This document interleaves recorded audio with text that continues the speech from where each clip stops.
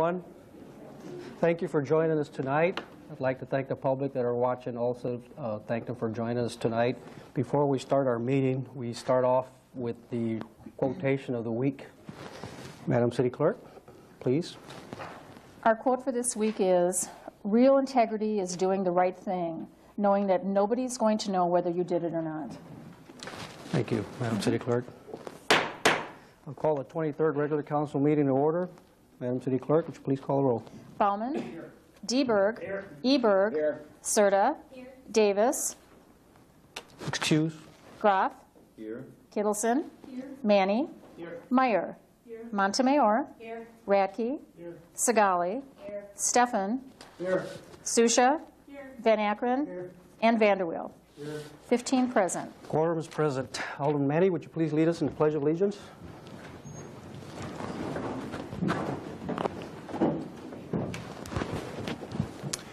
I pledge allegiance to the flag of the United States of America and to the republic for which it stands, one nation, under God, indivisible, with liberty and justice for all.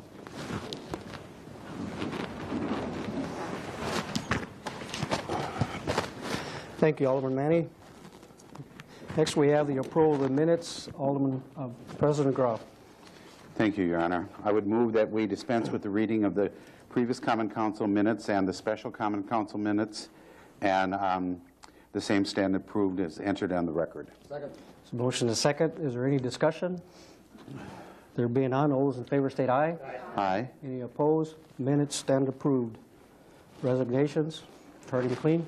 Thank you, Your Honor. Uh, First is a letter from uh, Michael Schrader advising that uh, he's moving outside the uh, corporate limits of the city on March 15th and therefore submitting his resignation from the Sheboygan uh, Board of Water Utility Commissioners. I ask for motion to accept and file. I would so move, Your Honor. Motion and a second. Any discussion on that? Your Honor. Yes. Uh, Regarding the resignation of of Mr. Schrader, what we normally do is that uh, we send out a public notice or print in the paper a public notice of the vacancy, and in this case, we will do that. And what needs to be done is um, anyone interested in that position should send a letter to uh, myself as council president, and we'd be looking at uh, electing someone to that vacancy uh, at the April 5th council meeting. So they have the next 30 days approximately to get a letter of um, interest to, to myself. Very good. Thank you, Alderman Groff, President Groff. Any other? All those in favor state aye. Aye. Any opposed? Motion carries. Uh, Appointments? Uh, To the Building Use Committee, Alderman Gene Kittleson, uh, term expiring 4/17/06. Joseph Clark, Carl Regati, and Cameron Stewart, terms expiring 4/30/06. Signed by the mayor. Those will lie over. And Dr. Curtis Hancock to be considered for appointment to the Commission on Aging to fill the unexpired term of Jerry Hemsing, whose term expires 4/30/09. Signed by the mayor. I'd ask for a motion to approve, confirm. Second, for second. Any discussion on that? All those in favor state aye. Any opposed? Motion passes. And Marion Keither to be considered for appointment to the Business Improvement District to fill the unexpired term of Tammy Kennard, whose term expires 9/15/06. And Mike Vandersteen to be considered for appointment to the Business Improvement District to fill the unexpired term of Craig Mazza, whose term expires 9/15/06. Signed by the mayor. And I'll ask for motion to confirm. Any discussion on those? All those in favor state aye. Any opposed? Motion passes. Is that it? Is it? Yes, thank you. Public forum, Madam City Clerk. Um, excuse me, first on the list is Sandy Wimler. Sandy, are you here?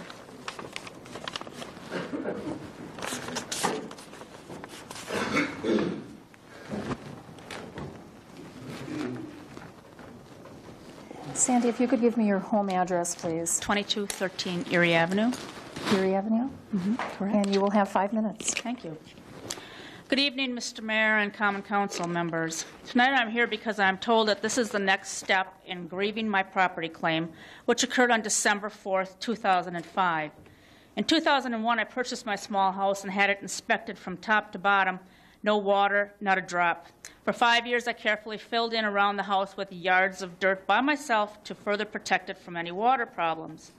Neither to say, and as it was, the manhole clogged in front of my home and destroyed my entire family room in the basement. I immediately called D&M Plumbing first because I didn't know what was happening. He proceeded to run a huge snake down the trap and came back with the comment that these pipes to the road were positively clear of any roots or clog. But the sewer was pouring in in waves from the trap. His next reaction and comment was to go to the manhole, and as he suspected, it was almost full to the top. I documented, pictures were taken. He went into the house and called the city and finally reached somebody after 15 minutes. The city employees came only after two plus hours. I live within a half mile of the city buildings. They went from manhole to manhole in front of my home and then, with some equipment, found and unclogged a soft mass. This took a matter of about 15 minutes. As they unclogged the mass, I could hear my drain suck itself dry. We're sorry. This is after the fact, and about six inches of hazardous black water filled my basement and family room. It's not leaves that were coming through the trap and drain, but the whole neighborhood's toilets. My family was supposed to come home for Christmas, but there wasn't any there. I am not a gold digger, and I am not about to gain any extra money. I live from payday to payday and cannot afford to lose all my furniture, much less the walls to my home. The insurance company I have refused to pay because of the hazardous waste, which meant actual feces, toilet paper, urine, etc., in my family room. I had to hire a company to come out to the tune of $5,000 on my charge card, paid ahead of time. How am I going to pay for this? I am told the next step is a lawsuit to be filed if I wish. In closing, I have the city's rules and regulations for the lateral in front of me, and uh, I stating the homeowner am responsible to the main. I believe the center of the street is the city's responsibility and needs to be adequately taken care of as it was or had not been at that point. I am supposed to lift the manhole every month to see that it's drained. This is not my fault, and I am putting the blame on the city. The materials found by D&M were neither leaves nor rubber duckies. They were black water. Lateral versus main in the sewage handbook that they gave me, my lateral was and is okay. Materials that were in the main created lateral problems. Three, the roots and leaves. There were no breaks in my lateral. The clog, clog came from the city's main. Number four, our frequent questions. City's responsibility regarding private laterals. I agree. City crews respond that the main is open. This one was not. If the blockage is in the city's main, we will fix it as quickly as possible and keep you informed about what is being done. I'm a taxpayer and I know the city has adequate insurance to pay for these things. They, mine will not. I will continue to fight this. If the city can pay D&M, why can't they pay me? Uh, if I have to go as far as I have to rectify this, I will. I have a copy of D&M, which they stated on the bottom that the manhole was filled.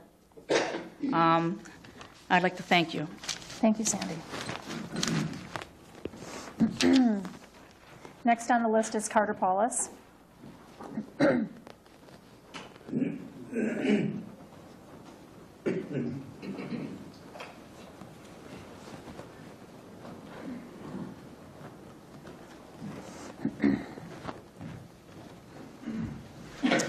Carter, can you give me your home address, please? 414 Erie Avenue. And you will have five minutes, sir.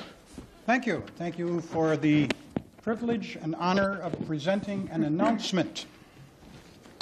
It is time to let the taxpayers of our community know that the Sheboygan County Taxpayers Alliance has taken a leadership role in resolving the confusion displayed by the Common Council and the Mead Library Board of Trustees regarding the issues surrounding our library. In our responsibility to the taxpayers of the community, we have filed and had hand carried and received a legal notice of receipt of all of the legal concerns to our Wisconsin State Attorney General as of February 16, 2006. This filing embodies more legal questions per state statutes than just the issue of the library director's contract and includes the actions of the library board trustees and the actions or lack of actions of our city government. These legal concerns include a request for relief, determinations, and enforcement of law by the Attorney General's office in the state of Wisconsin.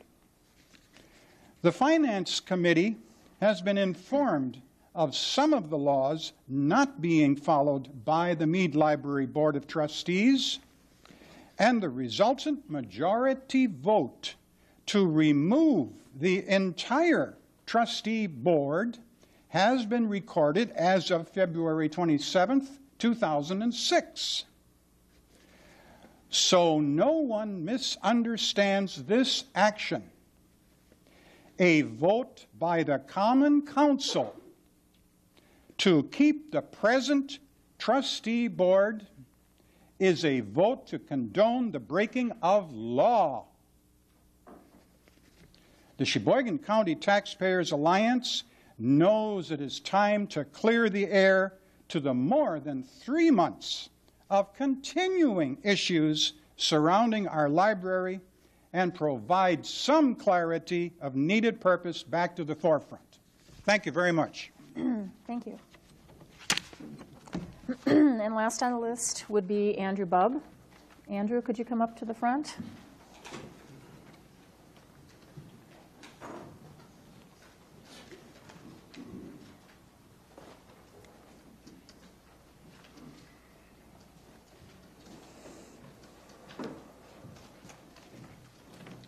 Andrew, could you give me your home address, Sure, please? 1616 North 21st Street. And you will have five minutes, sir. Okay, Thank you, Mr. Mayor, council members. I've come before you tonight to talk about Charter Communications and their lack of offerings in the Sheboygan area, uh, specifically high-definition television. On February 1st, I submitted a letter to the editor, to the Sheboygan Press, and it was published on February 26th. Uh, I submitted this as a public document to the Common Council. Uh, according to Charter's website, not since the advent of color television has there been a more dramatic change in the way television is experienced in your home. And this, is, this has been on their website since 2004, so it's not something new. This, this has been around for a while. Uh, as of September uh, 2004, about 90 million cable customers could get high definition television in the United States. And Charter has said that one of the reasons that they haven't added HDTV service is that it's slow to be adopted. Now, in comparison, it took a decade for color televisions to be in 5 million households in the United States. Already, there are 15.7 million high definition televisions at the end of 2005, and it was only introduced in 1998. Charter also claims that there's a lack of high definition programming as a reason they haven't introduced it. However, a preliminary tally of high definition programming by HDTV Magazine showed that about 650 hours of high definition content would be available on any given day. That's according to the Seattle, excuse me, to the Seattle Times. Most other areas serviced by Charter have 10 plus channels of high definition, including all the major networks. Uh, for example, Fond du Lac, West Bend, Stevens Point, Wausau, Eau Claire, Onalaska, which are already serviced or which are serviced by Charter, already have high definition, including Two Rivers, which with a population of 12,000 and roughly the same geographic area as us, have high definition as well. Charter plans upgrades in several communities throughout Wisconsin that already have high definition television, giving them capabilities beyond high definition, such as uh, video on demand and internet telephony. Uh, Sturgeon Bay, Sister Bay, Egg Harbor, Plover, Wausau, they're all getting video on demand in 2006. Campbellsport, Mount Calvary, Sturgeon Bay, Marshfield, they're getting IP telephony, and the list goes on beyond there. Charter so far does not have any plans to introduce high definition television into the Sheboygan market in 2006. dozens of other communities smaller than Sheboygan have HDTV, and the Sheboygan area with a population of over 50,000 does not. Appleton, Green Bay, Milwaukee, all serviced by Time Warner, have high definition television. Existing services like DVR, digital video recorders, that are provided by Charter are sporadically available, uh, sometimes being sold out or not available for months at a time. And Charter, they already have the critical infrastructure in place between Sheboygan and Two Rivers to provide service like high definition television. I'm asking, what's the delay? I'm also told that the city's infrastructure is less complicated than Fond du Lac's infrastructure, so there shouldn't be a reason why we can't get it. Now, I realize federal rules regarding the contracts are weighted towards the incumbent provider, but I ask that you take into consideration Charter's lack of HDTV offering in the Sheboygan area when considering the renewal of their contract come, this coming year. I ask you to push, put pressure on Charter to upgrade or commit to a date in 2006 to upgrade to high definition television before we go ahead with the renewal of their contract. And if Charter won't commit to upgrades, I suggest looking at other providers that will give us a more modern cable system, which Charter has been want to do. Without Charter committing to the modernization of Sheboygan, and uh, I will be going in a new direction, and satellite is looking better and better each day. I thank you for your time. Thank you.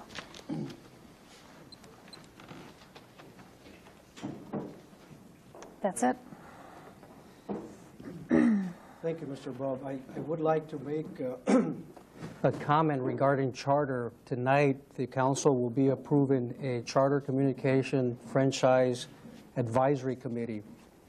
And I put that committee in place for the exact same reason that Mr. Bubb has, has expressed, uh, concerns that he has expressed, is that in the past, the contract was negotiated out of the mayor's office and charter, and that was the extent of it, and I believe with a, the, the assistance of a consultant. In this time, this time around, this year, if the council passes, uh, approves a committee, there will be an advisory committee formed with some uh, citizen representation, and Mr. Bubb may just have given me an idea of who to consider appointing, because he seems to have a lot of knowledge on that.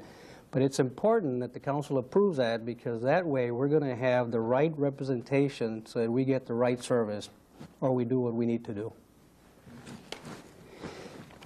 The next item on the agenda is a statement of commendation to recognize uh, Ms. Lindsay Walter.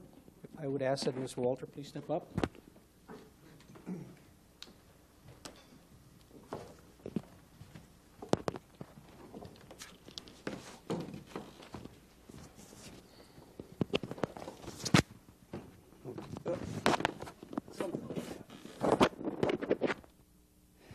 This is one of the things I get to do that I really, really enjoy, and, that, and this is recognizing, um, in particular, our youth for being exemplary citizens in our community. Lindsay Walter is being recognized tonight because she has been named one of the top youth volunteers in Wisconsin for 206 in the 11th Annual Prudential Spirit of Community Awards. This is an extraordinary honor. The program is America's largest youth recognition program based exclusively on volunteerism. Lindsay is a senior at South High School. For her volunteer project, she collected new and gently used pack- backpacks for Hmong refugee children and teens living in our community. With help from Catholic Charities officials, her mother, and several friends, Lindsay solicited donations of funds and backpacks from local businesses, advertised her campaign in church bulletins and at the YMCA, distributed donation barrels, and then collected, cleaned, and handed out almost 100 backpacks to young refugees. At this time, I would like to present Lindsay with this statement of commendation. As mayor of Sheboygan and on behalf of our city, I commend Lindsay Walter for her outstanding volunteer contribution to others and to our community. I commend your efforts and issue this certificate and affix my seal and signature upon it. Thank you, Lindsay, for everything you've done.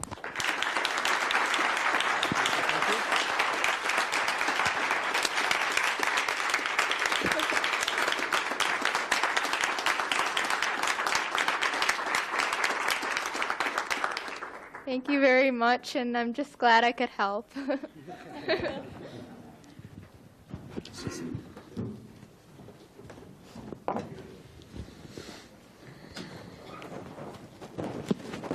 Congratulations to the parents of Lindsay, Mr. and Mrs. Walter. Next item on the agenda is the mayor's comments. There'll be three, three things I'll be talking briefly about. That's the rules of order that uh, we are proposing to adopt tonight, uh, the creation and the beginning of an online newsletter, and then the Clean City Initiative kickoff. With respect to the uh, rules of order, every one of you will have received a copy of the rules of order.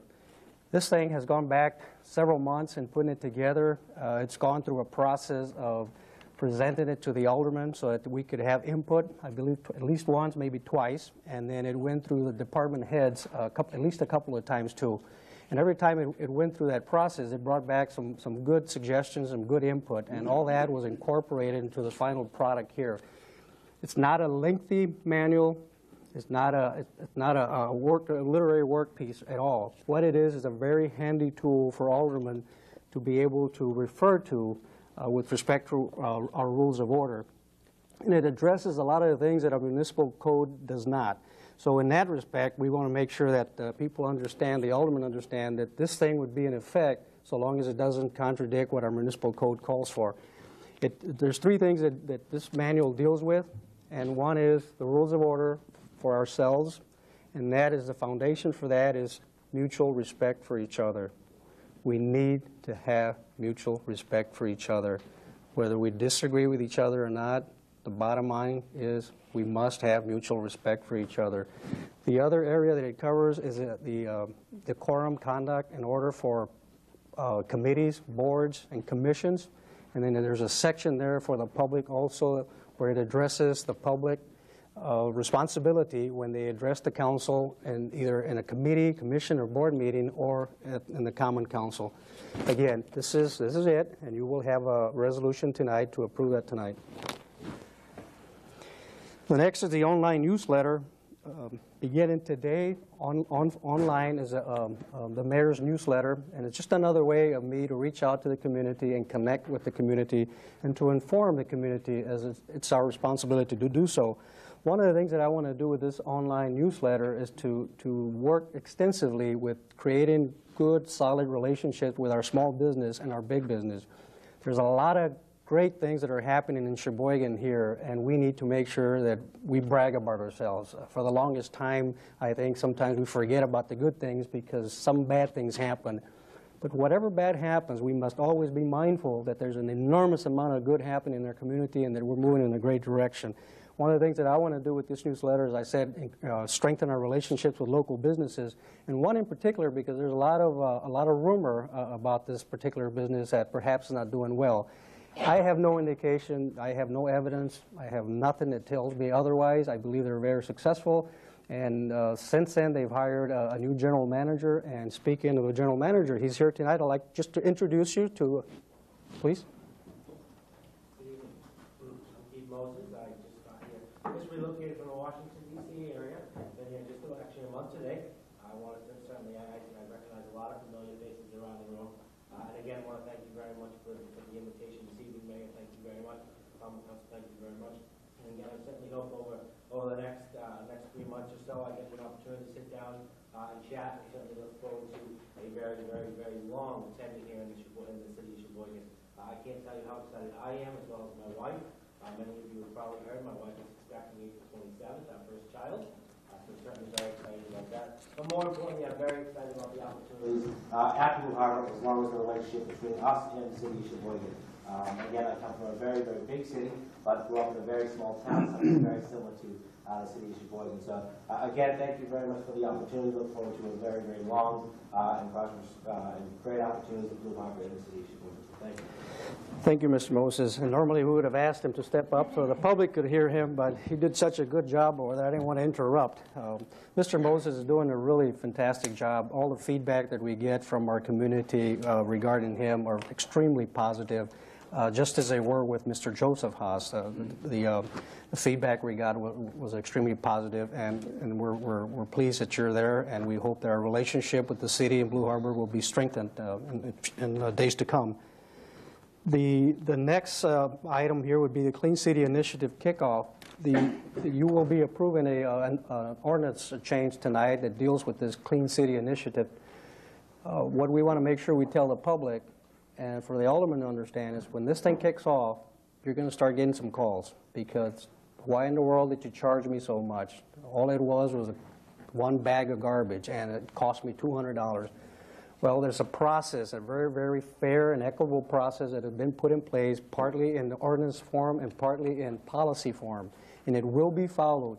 The one thing I'd like to let the public know and let the alderman know in case you get calls is that there will be a 30 grace period. Although they're all, they're going to start enforcing the, the, uh, the policy now, if somebody gets hit with a, with a fine or a citation, and they would like to avail themselves of the 30-day grace period, all they need to do is call Public Works, I mean, uh, inspector departments, and ask for that 30-day extension, and, and they will be granted that. That'll be the grace period. After that, all goes, we're going to clean our city up, and I hope that people understand that we need to clean our city up, and I hope that we get their cooperation. Okay? And by the way, as a final note, there, the, uh, on, the, uh, on our website, people can file a complaint if, if they so choose to do it online. And I will add also, at the end of the year, we've, we've put together a process in place that we'll be able to track the progress and the success of this Clean City initiative. If it didn't work, it didn't work, we'll put it aside. If it does, then we'll need to look at where it's strong, where we need to make it stronger. I have every, uh, every reason to believe it's going to be a great program. So again, you'll start getting calls because people are going to start getting citations and start getting notices. Okay? Thank you. Next, we go. Uh, we have a hearing to amend the zoning for property located at 2039-339 Pennsylvania Avenue from Class PPUD pre-planned unit development to Class Marina Vista uh, PUD plan unit development 206 classification. Is there anyone here that would like to address the council regarding the public hearing? Is there anyone here that would like to address the council regarding that hearing? Sure, I would. Please do, sir.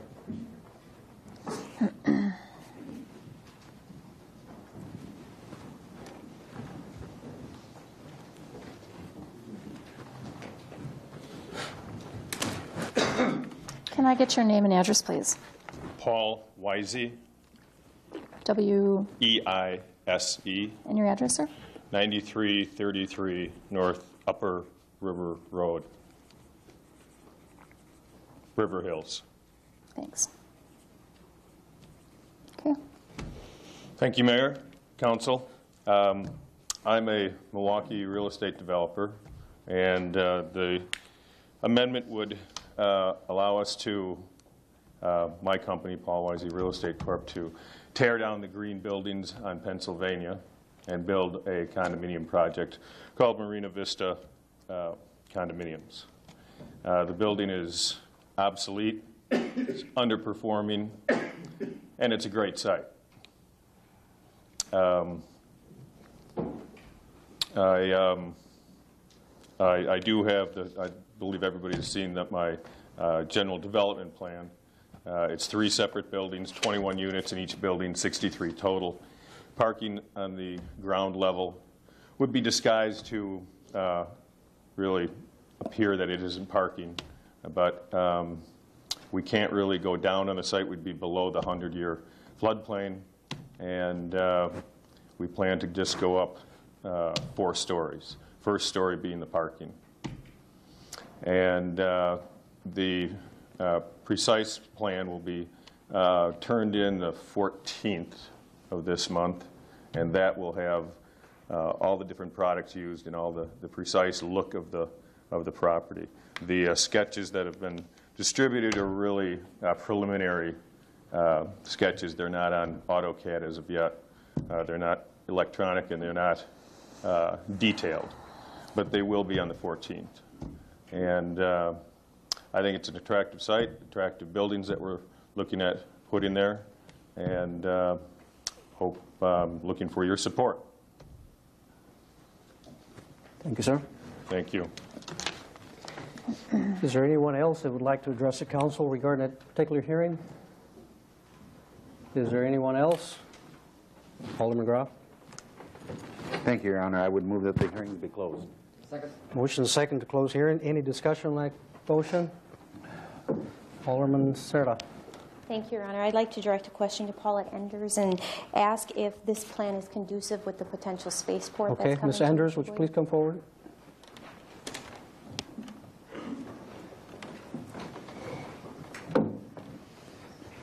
And Alderman Sardo, would you please state your question again?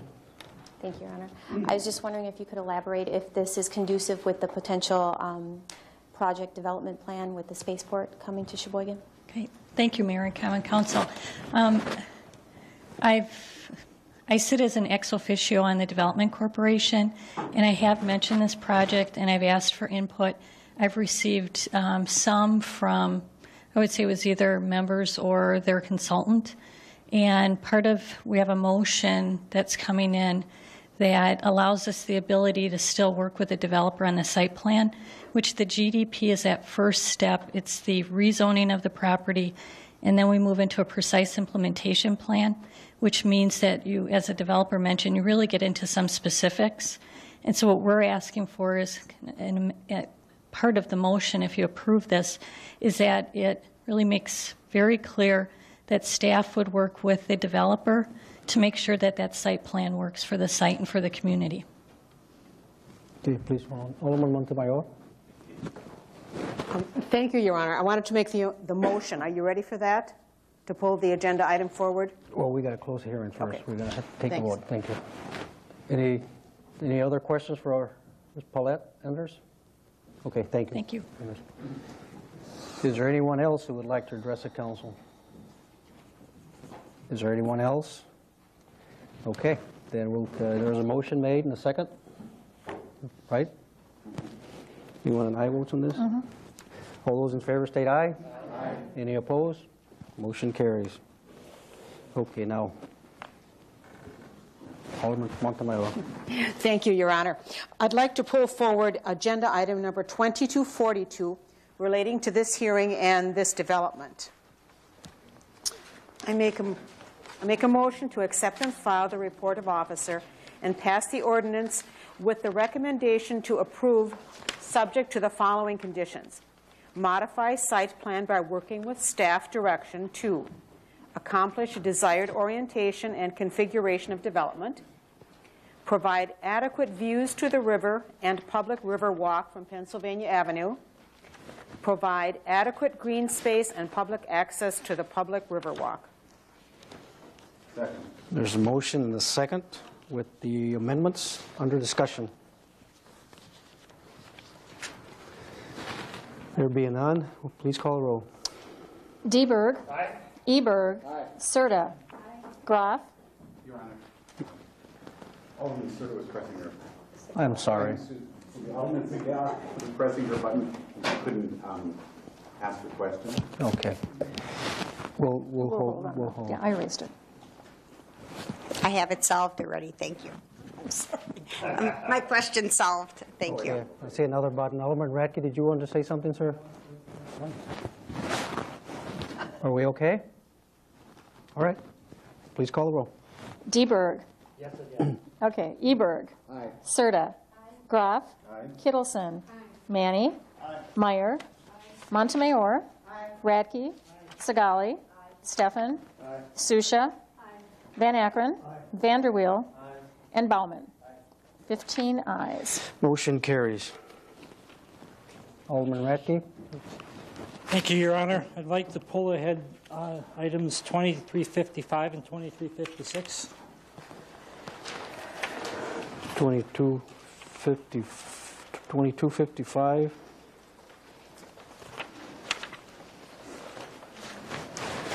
Where is it?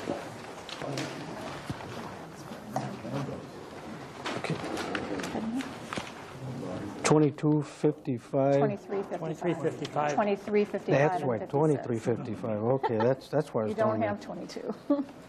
Look at two sheets. Okay, just that item? Just those two. Okay, 2355 being pulled forward. Please continue, Alderman Radke. Thank you. These having to do with the brat uh, eating contest, I'd like to make a motion that the RC be accepted and adopted on both 2355 and 2356. 2250, 23. 2355 and 56. Motion to do accept again? and adopt both. And there's a second. Under discussion. Basically speaking, uh, I I can appreciate what Mr. Mertz is asking for here, but I don't believe government should be getting involved in running referendums to stop uh, not-for-profit organizations from having contests. So, Thank you. Alderman Montemayor? Thank you, Your Honor. Uh, Does he mean file or adopt? Accept and adopt would be to file it To as you file. recommend to file All both right. documents. Thank you. Thank you. Alderman Montemayor. Alderman Susha? Thank you, Your Honor. Um, I just wanted to share a little bit of background about a story that uh, Mr. Mertz shared with me. It might shed some light on why this is coming uh, to council. Um, a number of years ago, he uh, knew a teenage boy who worked in a restaurant, and um, at the end of his shift, he was told he could um, eat whatever was left in the kitchen. And that boy, I believe, he devoured the rest of the prime rib, and by morning, that boy was dead. And what happened is he died from aspiration asphyxia, which basically means he overate. And I think that's the concern here, and that's why this is being brought forward. Um, at this point, I'm going to support what the committee decided to file the issue relating to the public refer- referendum because I don't believe that the general public has enough knowledge on aspiration asphyxia. But I would like to ask that the Jaycees be proactive the next time they come to council and ask uh, for the permit to hold their brat days. And I'd ask that they'd be proactive and perhaps bring a physician in with them so the Public Protection and Safety Committee could talk with the Jaycees and perhaps some of the medical community about whether um, aspiration asphyxia should be something that we should be concerned about with the brat eating contest. And I think it would be more appropriate for that committee uh, to work with the Jaycees in the future uh, to see what the uh, future recommendation should be about the brat eating contest. Thank you. Thank you, Alderman Susha. Alderman Segali? Thank you, Mr. Mayor, and I appreciate what Alderman Susha is saying, but under those circumstances of bringing in doctors, et cetera, concerning this, then we might as well bring in doctors and, and police officers and everything when it comes to drunkenness and people drinking beer or whatever else that takes place at these, uh, at brat days or anything else kind of picnics that we're sponsoring. So I, I just feel that um, this is just something that's, uh, I guess, a necessary evil that takes place when you have picnics and festivals. Thank you. Thank you, Alderman Segali. Okay, please call the roll. Eberg. Serta. Groff. Kittleson. Manny. Meyer. Montemayor. Radke. Sagali. Stefan. Susha. Van Akkeren. Vanderweel. Bauman. And Deberg. 15 ayes. Motion carries. Alderman Susha, you hit first. Thank you, Your Honor. I'd like to pull forward document 2339. Pulling forward 2339.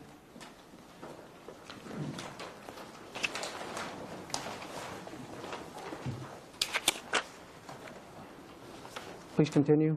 Okay, um, that's pulling forward the general rules of order, procedure, and conduct, and I move that this resolution be put upon its passage. Motion is second. Under discussion.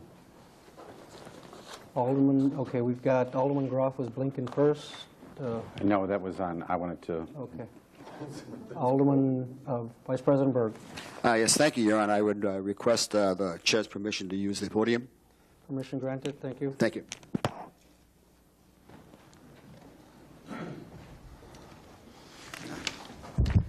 Fellow council members, uh, tonight we will be establishing rules of the road uh, that will govern our process and procedure. Um, However, I would like to use this opportunity to address a situation that I've become increasingly concerned about. Uh, That's why I asked Mayor Perez for the opportunity to address uh, the issue that relates not to what we decide, but rather how we arrive at a decision-making process. Within a few weeks, we'll be concluding our legislative year. During that time, we will have dealt with a lot of content. If we look at our agenda, tonight we have over 70 items alone that represents the people's business. Along with dealing with these matters, we have invented a process which defines how we deal with the people's business and each other. That's why I'd like to talk about, because my sense is that's what the community is concerned about. Over the last several weeks, I've been disappointed, frustrated, and angry with the direction we've taken. I think that these are important words because they reflect the emotional tone that defines many of our deliberations. I cannot believe that as a group we share these very common and understandable feelings which are expressed through our personalities and our political beliefs. Over the past year, I've enjoyed the opportunity to talk individual with many of you, many whom I may disagree with on issues. And while I may take issues with the words you use and the logic you employ, your feelings are readily uh, understandable and valid. However, the words we use are reflective of our feelings, and reality dictates that people remember the words that we use, especially when they are hurtful and directed at an individual or group. Hurtful words bring about a defensive response which quickly turns into polarized positions, leaving little room for meaningful discussion of the underlying issues. Unfortunately, we have often used the legislative process to serve these emotional ends. It's unique that as a nation, we enjoy and take for granted the governmental process which allows feelings to be expressed in, through our words. That's our freedom of speech. However, with freedom comes responsibility, and I would suggest that we need to exemplify a standard of conduct in our actions that makes us the object of pride rather than embarrassment. As a bystander, I've long been interested in city government. It's a place where we deliberate stop signs, taxes, garbage collection, marinas, dog runs, seagulls, a myriad of other issues that so directly concern those who we are sworn to represent. A place where serving the greater good is our challenge and where personalities and politics should be secondary. My disappointment is that we have evolved into a body where personalities, politics, and polarities have supplanted good, sound public policy and decision making. My frustration is personal in that, for the life of me, I don't see a clear and obvious way to resolve the gridlock that, and the contentious atmosphere that has defined this legislative session. Rather than look for solutions, we appear to be enamored with fixing blame on individuals boards, and departments. And as a result of that, those of us who play the game, the, the blame game, further become a lightning rod for further accusations, blame, and discontent. But with disappointment and frustration also comes hope. And in this regard, I offer the following suggestions. The power for change is and should be vested in the individual voter. Election time is fast approaching. The public remains as the true, true judge of the direction our city will take. While stormwater and South Pier and taxes and economic growth re, re, uh, comprises the stuff that uh, our candidates will address, I would also ask that you look at each current and future candidate in terms of their abilities at consensus building and reasoned debate without personal attack. Mayor Perez, I also look to you to craft a committee structure that represents all viewpoints and appoint those chairmen that can acknowledge the diversity that exists among us and produce outcomes that present sound policy and procedures above personalities and politics.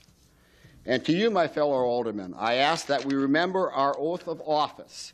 Uh, and our responsibility as public officials, employees. Uh, and until this point, the words that I've used have been mine and mine alone. The words that I read you now belong to all enough, all of us, as they can be found in section 2-267 of our ordinance book. And, and they, it relates to responsibilities of public officials and employees. And I read as follows. Public officials and employees are agents of public purpose and hold office for the benefit of the public. They are bound to uphold the Constitution of the United States and the Constitution of the state and carry out impartially the laws of the nation, state, and city, and thus to foster respect of all government. They are bound to observe in their officials' acts the highest standards of morality and to discharge faithfully the duties of their office regardless of personal considerations, recognizing that the public interest must be their primary concern.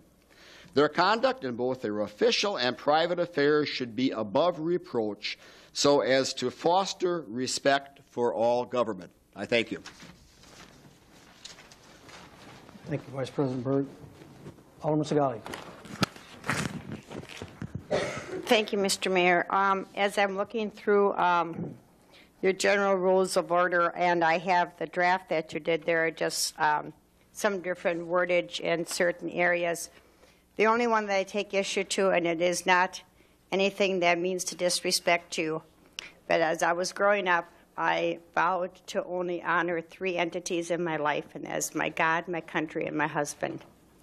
And I feel that since you do not meet any three of those requirements, um, and according to Robert's Rules of Order, I am not showing any disrespect to you by calling you Mr. Mayor instead of Your Honor, as you so state here in this book.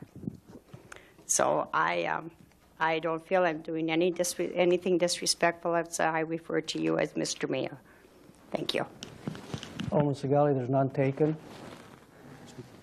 No disrespect taken, but council will approve or not approve. You had every opportunity to look at these orders, several months. We could have talked about that. I wanted just to, to point out something here. As as I was working through these um, rules with the input of a lot of people, um, what, I, what, I, what kept coming through my mind was this quotation that's up on top, and I'd like to read that because it's, it's very important to me, and I think people, uh, the community needs to understand that. And it goes like this When order is lost, everyone does what they please in the manner that they please. And that is enough to initiate chaos. And we lose civility, respect for each other, and destroy the very integrity of the government we have the privilege of representing. That is the foundation for these rules. Again, mutual respect for each other. We all abide by orders. We all abide by rules. That's the way our society is structured. I will respect them. I hope you will too. Thank you. We have a motion and second. Please call the roll. Anybody? I'm sorry. Alderman Sarla.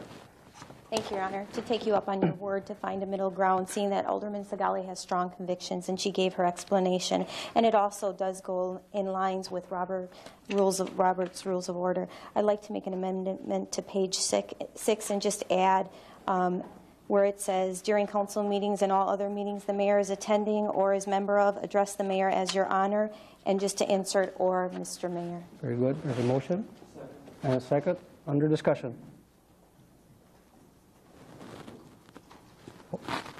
Roll call on the amendment. Please do.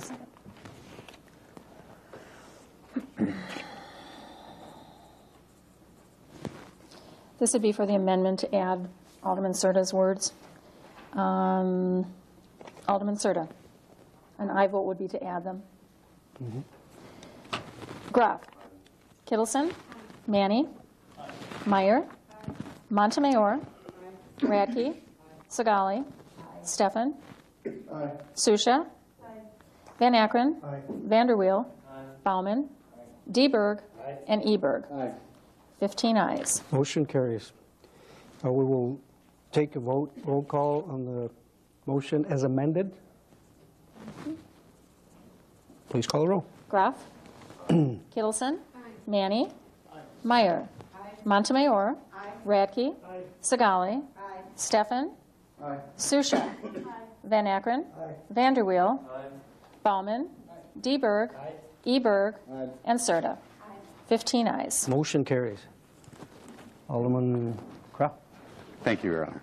Um, I have uh, several documents that I would like to pull forward. The first one being document 2349. Pulling 2349 forward. And 2349 is a resolution authorizing the issuance of pollution control refunding revenue bonds on behalf of Wisconsin Power and Light Company. And this has been to, um, to the Finance Committee several times. So um, that being said, and we have discussed this, I would move that this resolution be put upon its passage. There's a motion and a second. Put the resolution upon its passage, 2349. Any discussion on that? And I believe representatives of Wisconsin um, Power and Light are here. Uh, I would move to open the floor to them. Okay, is there a second to that motion? All those in favor state aye. Aye. Okay, uh, we have some representatives. Please do, sir.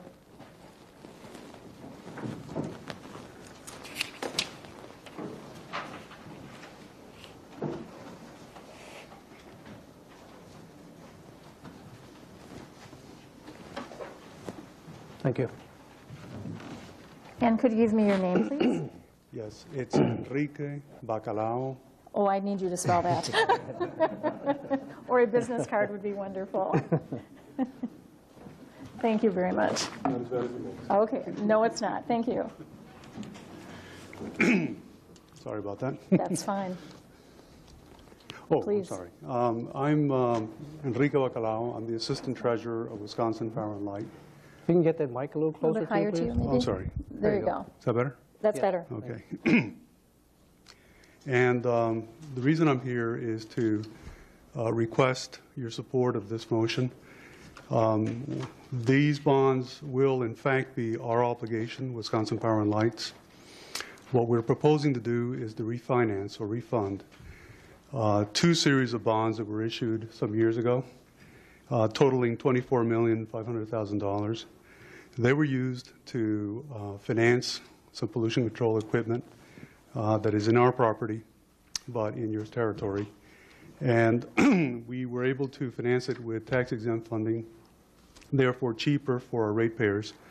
Um, What I am proposing to do now is to refund them such that we save some 20 or 30 basis points per year, uh, and that will translate to some 175,000 to $200,000 savings per year for our ratepayers. Not for the company, but for the ratepayers. So um, we are requesting your approval of being able to refund these. And if you have any questions, feel free to ask me. Are there any questions? No? Thank you very much. Thank you. Is there anyone else that would like to speak to the council on- uh, from that particular business company? From- Anybody else? No? Okay. Thank you, sir. Okay. Take a vote. Hmm? Kittleson. Manny. Meyer. Montemayor. Radke. Sagali. Stefan. Susha. Van Akkeren. Vanderweel. Bauman. Deberg. Eberg. Serta. And Groff. 15 ayes. Motion carries. Alderman Groff. Thank you, Your Honor. I would like to pull, um, the next two documents I'd like to pull forward is 2352 and 2354. 252 and 54. These are two documents regarding um, the Special Committee on Risk Management. And the first one, and I'd like to do these separately, the first one is um, uh, the RC by the Special Committee on Risk Management uh, for the claim of Sandra M. Wimler for alleged damages to her basement and property due to clogged city drain. Uh, The or the recommendation of the committee is that we pay the plumber fee and deny the remainder of the claim. I would move that RC be accepted and adopted. Is there a second? Second. Motion a second. Under discussion. Under discussion, I would move also at this time to open the floor to Ms. Wimler if anybody has any questions of her, but, um, and I would make that in form of a motion. There's a motion to open the floor to Ms. Wimler. Is there a second? Second. Any discussion on that? All those in favor state aye. Aye. Any opposed? Motion carries. Ms. Wimler, would you like to please come up?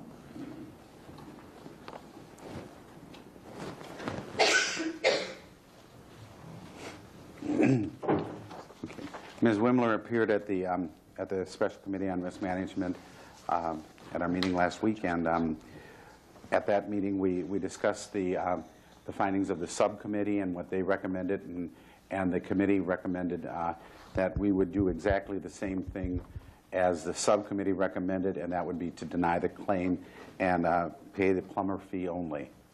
So with that, if there's any questions that either I can answer, or City Attorney McLean or Ms. Wimler, um, I think that would be Okay, thank appropriate you. right now. Alderman Groff, we have uh, Alderman Stefan. Uh, Thank you, Your Honor. Uh, I don't have a question for Ms. Wimler. I guess the question is, typically, I know we make people sue us to get their money sometimes, but, I mean, it seems to me if we're admitting fault by paying the plumber fee, why aren't we taking the next step? And is it just what we don't feel what she's asking is fair, or what's the logic in, you know, if we're paying the plumber fee, we're kind of admitting it's our fault, but we're not settling with the other part of it, so I wonder what the logic was in that. You want, who do you want that Uh, respond to? Whoever made the decision to Alderman Rao, recommend could this. you respond to that? I can tell you that the... I got you now, okay. Okay. I can tell you that the, um, the plumber fee i- is something that we, um, the subcommittee recommended to pay, and I would believe it's based on past practice that we normally pay the, the plumbing bill uh, for a situation like this. And I could refer um, to Steve if he wants to add any more to that, or, um, Oh, excuse me, hold on. Get everybody lined up here. That's- City Attorney, thank please. Uh, The policy's been that if uh, homeowner hires a plumber and they come out and uh, snake or jet their lateral and they find the blockage is not in the lateral, that we will reimburse the plumber's bill if the clog is in the main.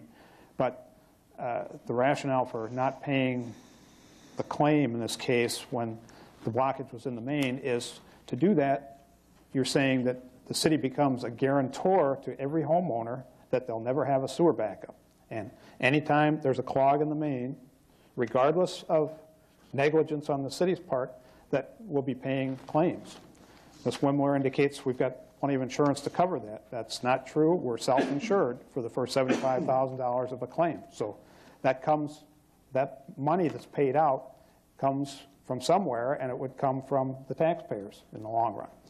Uh, the, the principle we've followed is if the city is negligent and that negligence causes the blockage in the main, we will pay those claims. And we've had those where uh, there's been breaks in the mains, where uh, those old mains where uh, bricks start collapsing in there and it, that causes the blockage.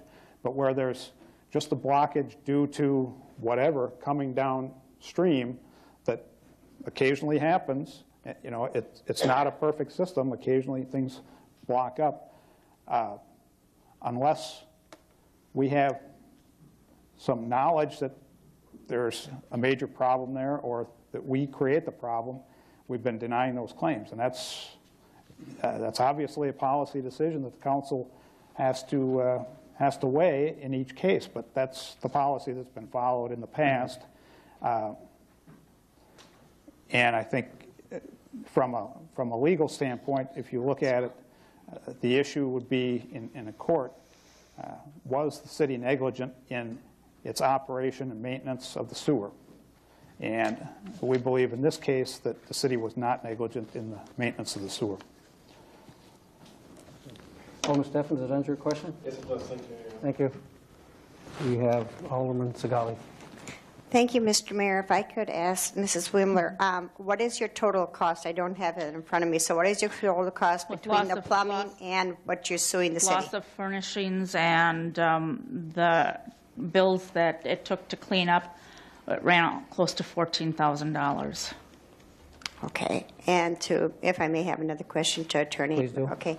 Um, So what you're saying then is that any of these sewers are backed up. Now, what do you classify as, as maintenance? Don't, doesn't the Public Works or any of their, their fellows go and clean these sewers so that there isn't backup? Okay, so how can you say then that this is, if this is being done and these sewers are being backed up, that we are not held responsible and the people are, I mean, she lost fourteen thousand dollars here.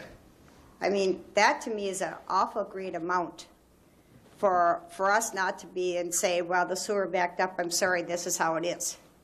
That to me doesn't seem right to these homeowners that are paying their tax dollars to the city and are expecting at least some type of service. And I realize Public Works can't do all of it.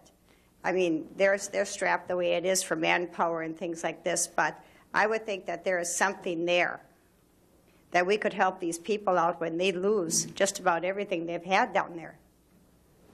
Is there a question that you'd like? Well, I, I, I'm, what I'm say, what I'm trying to say is, is, is this a policy that we, the council, set, or is this something that's set in, in stone that we cannot do anything? We cannot change a policy to say what the city is responsible and not responsible Okay, for? I'll ask Attorney McLean to address it. Mr. City Attorney? Thank you. Uh, Each of, each claim that's submitted comes into the council, goes to a- committee that you've established to address them. That, that committee deals with claims on a regular basis, makes a recommendation to the council. it's strictly that. It's a recommendation to the 16 of you. You make the decision. And if you want to choose to start paying these claims, you've got the power to do that. And uh, you can do that at any time. But uh, you just need to bear in mind that there comes a, a price to doing that. And you've got to weigh that, and I think that's why you have the Risk Management Committee is, is looks at these and tries to uh, establish reasonable policies to follow. Again, um, from a legal standpoint, the city is responsible to use reasonable efforts to maintain its sewer system. It builds the system, and, and if it's using reasonable efforts to maintain the system, that's all that the law asks of the city. Again, if you're going to say that every time there's a blockage in the main, from whatever cause, that if that backs up in someone's home, the city's going to pay for that. Um, you're going to be finding you're going to be paying a lot of money out. And again, uh, you can do that. That's the policy is up to the council to establish. Thank you, Attorney McLean. Alderman Manny? Thank you very much, Your Honor. Uh, That's a perfect lead-in to my question, and that is for Mr. Holton. If he would address for us uh, the normal maintenance procedures in the city, so we can consider what reasonable maintenance means. In addition, if he could comment upon uh, the worst-case scenario when we have difficulties with the large amounts of water, et cetera. The further aspect of that question, it's a little bit nuanced, but in what degree are um, our sewers uh, affected by inappropriate things going down toilets, et cetera? Is that a part of the problem as well? Okay, you've addressed about four or five questions there, but Ms. Wimler, we need to ask you to please sit, take the seat back. Mr. Tom Holton, please, sir.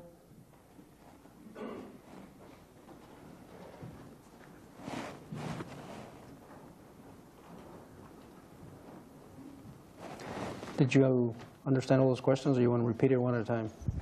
I think I understand them. Thank you, Your Honor and Council. Uh, the city has probably close to 200 miles of sanitary sewer main, and we have a, a schedule where we will televise. No, we can't do it all in one year. We can't do it all in five years, but we're out there televising uh, the mains to make sure they're in good shape. We have a schedule where we go and jet the mains to clean them out. We have a schedule where we will treat them for roots, for trees. The roots will grow in and ball up in the mains. We treat the, the bad areas of town. Uh, we have a schedule for that. Uh, we're out there, I can't say daily, but most of the time we got a crew of four or five that are out there, whether they're televising uh, or jetting the sewers. We're, we're making repairs uh, all the time. Okay. Worst-case scenario. To which? Okay, okay, we need to put you on the mic, Alderman Manny. Okay. Uh, the, the second question is, what's the worst-case scenario with pressure on the whole system? How, how much uh, impact is there? That, it depends on the area where you're at. I, I, that's a tough question to answer. I'm assuming in Ms. Wimler's case, it's probably some grease that came from somewhere. It wasn't anything that was down the toilet or anything. It was a, a grease, wad of grease that must have let go from somewhere that rolled down and got hung up in the main, is my guess.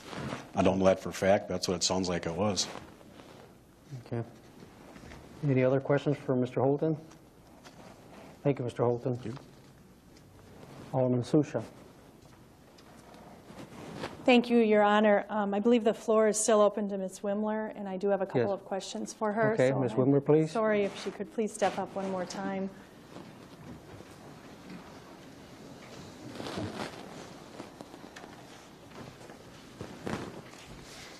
Thank you. Um, My first question is in regards to um, the type of weather, on the day that this occurred, was it during uh, a major storm?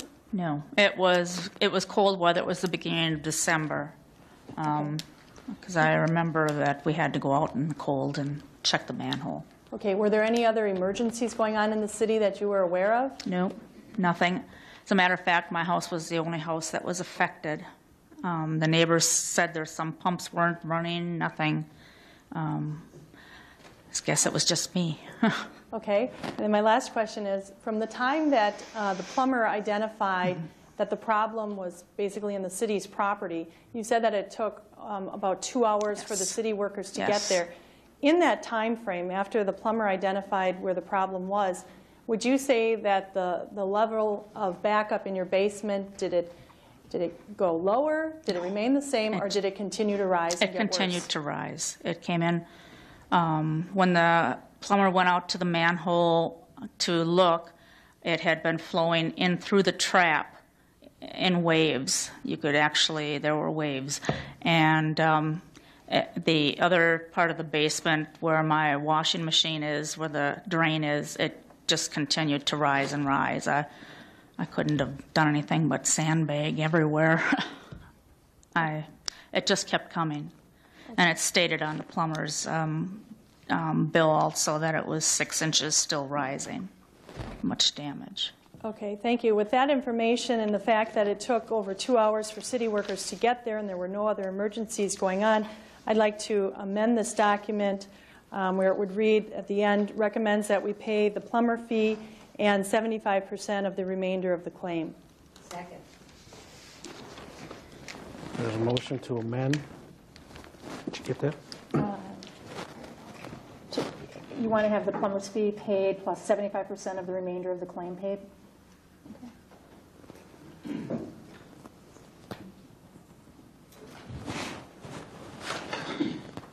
We have Alderman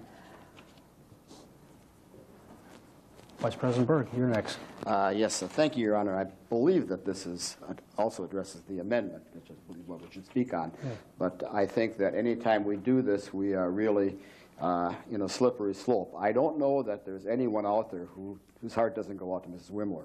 We all would likely, uh, if we were in that situation, look for some redress. But I think this impacts on other areas of city government. For example, and I guess I would uh, direct a question to uh, City Attorney McLean, we do have a sidewalk inspection program uh, that we do with due diligence to ensure that we have no lifts and sidewalks.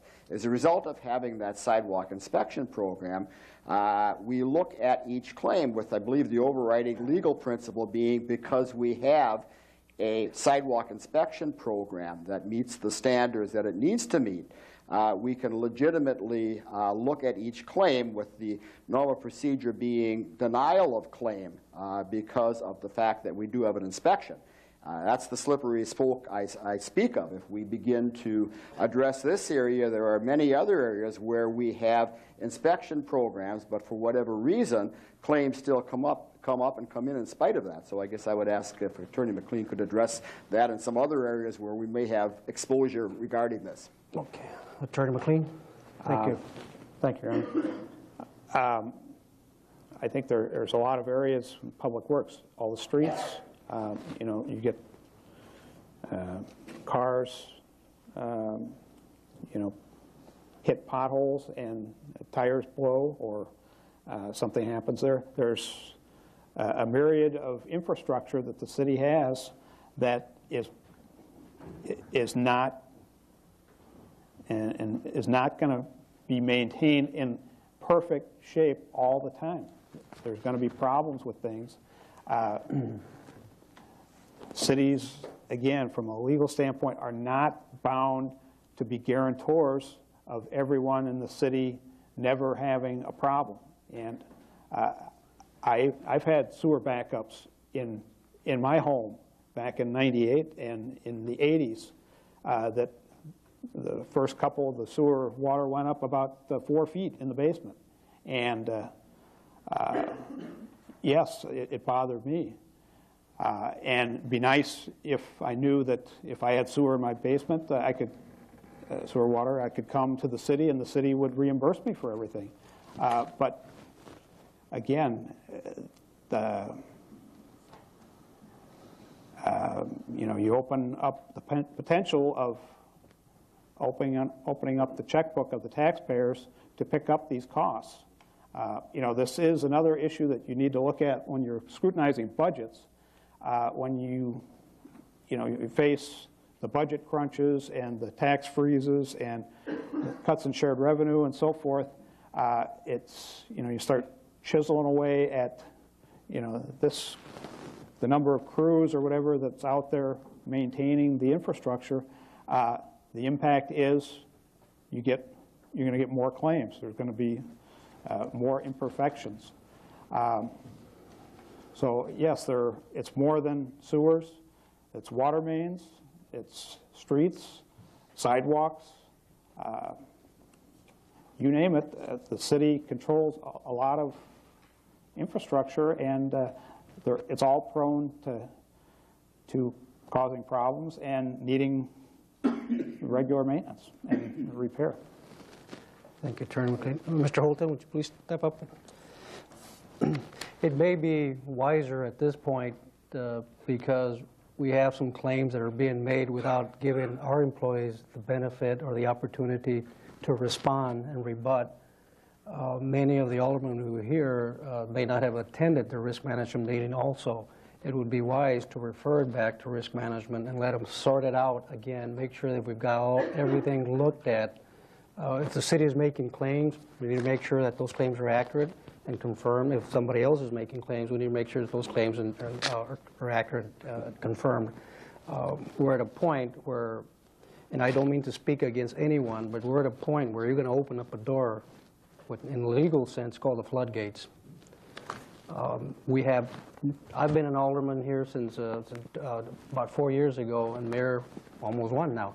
And we've had lots of people that have come to us, and every one of their claims was denied because we opened up, as Mr. Attorney McLean has said, the floodgates. um, And as Alderman Stefan said early, um, agreeing to uh, guilt and so forth. So please, if, if you're going to do that, that's fine. Just understand the consequences. In my mind, it would be best to refer it back to risk management, get the people back together again, let everybody have their say, confirm, and make sure that we've got the, the right information to make this critical decision. Mr. Holton? Uh, This take place on a Sunday. That's why it took two hours to get someone out there. There wasn't anyone at the service, but other one weekend watchman. He has a call list. He goes through the call to get employees in to respond to the call. If it would have been during the week, it wouldn't have been two hours. But because it was on a Sunday morning, that's why it took time to get someone out to respond to it. Thank you. Okay, we still got some lights. Uh, Alderman Vanderweel. Thank you, Your Honor. Uh, Mr. Holton answered my question. I was concerned if it was on the weekend or not because we were concentrating on that two and a half hours. But uh, also, I agree with Alderman Berg that, and everybody who's spoken, that if you if you pay any part of this claim, you just open up the floodgates, and and it's just going to be a very bad decision. Thank you. Thank you, Alderman Vanderweel. Uh, President Groff. Thank you, Your Honor. I do agree with what Al- um, Alderman Berg said, as well as what Alderman Vander um, Willie said, um, as well as what um, just, uh, City Attorney McLean said. Uh, But just to give people a a little bit additional information, there is a subcommittee that reviews all these claims also. And they normally come in with the information, including pictures that they may have gathered, and um, we discuss it uh, before the the Risk Management Committee. And I'm um, I felt that, you know, no one wanted to deny this claim, but it's something that has to be done because otherwise you are going to open up a Pandora's box, too, about all these claims coming in. And right now we process probably between two and 300 claims every year, very similar to this. And uh, what, we, what we anticipate happening is that the, um, the subcommittee goes out and checks all these things and uh, does their records, and they report back to the um, Risk Management Committee and make a recommendation to the Risk Management Committee. And after we, we take all this information and, and look at it and, and determine what, what is correct and, and not, or not, we, um, we make the recommendation as to uh, what needs to be done with the claim. And in, and in this case, um, it was to pay the plumber fee and then uh, deny the rest of the claim. Thank you. Alderman Manny? Thank you, Your Honor. Uh, My question was somewhat answered already by uh, what Alderperson uh, Groff just mentioned. But my question related to average number of uh, claims per year and the dollar cost that goes with them. At least that's a good uh, piece of education information for us. Is that too hard to come up with, average dollars? Attorney McLean? Pretty hard off the top of my head, but could certainly gather that information and bring it to the next meeting. Uh, I, I couldn't tell you what the average dollar claim would be, and it really should be broken down by type of claim to, to be meaningful, I think. But uh, uh, we get all kinds of claims. You see them, you know, every council meeting, you're asked to uh, act on them. Uh, And I, I can guarantee there's a lot of people that don't follow, file claims under the assumption that they're not going to get paid. That- That, you know, if you start paying those, you're going to get a lot more claims being filed also. But uh, sure, we could, I think we have the information available on the, uh, it's a matter of putting it together, the numbers of claims. Uh, We get spreadsheet, I think, from, uh, uh, from the IS department on the types of claims and the the dollar amounts. Thank you, Chairman McLean. Alderman Susha? Thank you, Your Honor. Um, Most of the people in my neighborhood pay property taxes between seven and $12,000 a year. And once you start paying about $1,000 a month for your property taxes, and all you really see that you're getting in return is your trash picked up, I think that um, the city needs to work a little harder on providing better customer service. And um, even if it was a Sunday morning, I think we have a problem with the system if it took two and a half hours to get someone out there to, to fix this problem. And this is a unique situation, being that it wasn't in the middle of a rainstorm where we have city workers all over the place trying to fix a myriad of problems all at once. Um, but I do think that this issue does um, warrant further investigation, and I do support sending it back to committee. So with that said, I will withdraw my motion. Who seconded? Is there a withdrawal? Thank you. Alderman Susha, Alderman Segali. And we're back to the original motion, unless somebody wants to make a motion to refer back. Alderman Manny? Uh, Excuse me. Yes, Alderman Thank you, Your. Honor. I do then move to refer this back, uh, move to refer this back to committee, and with that referral, I would like information gathered about total number of claims, uh, categories of claims, dollar amounts that go into that. I think that's a good edu- educational process for us. There's a motion with the um, a request. Is there a second to that motion, refer back? Second. Any discussion on that motion to refer back to committee? There being none, please call the roll. We'll take, we'll take a roll call. Meyer. Montemayor. Radke. Sagali. Stefan. Susha. Van Akkeren. Vanderweel. Bauman. DeBerg. Eberg. Serta. Groff.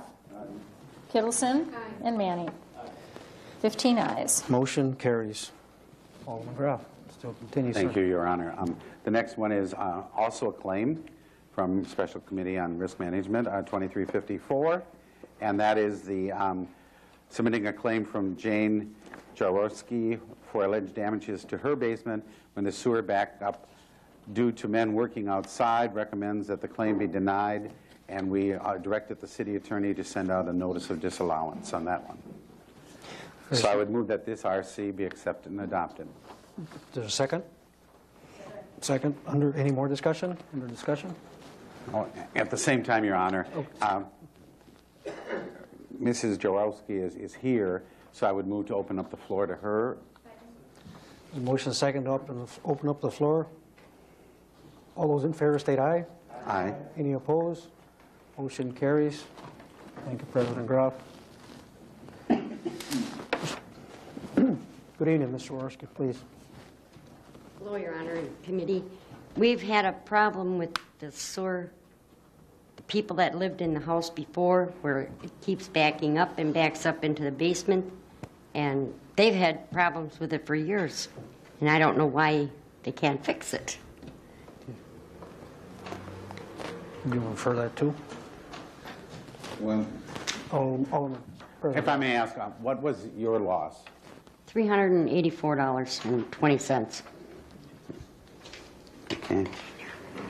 And did you call in, you didn't call in a plumber or anything? um, Nope, I cleaned it up myself. I'm a widow, so stinky mess. I have the carpet outside if you'd like it. She also brought the carpet to the um, risk management meeting.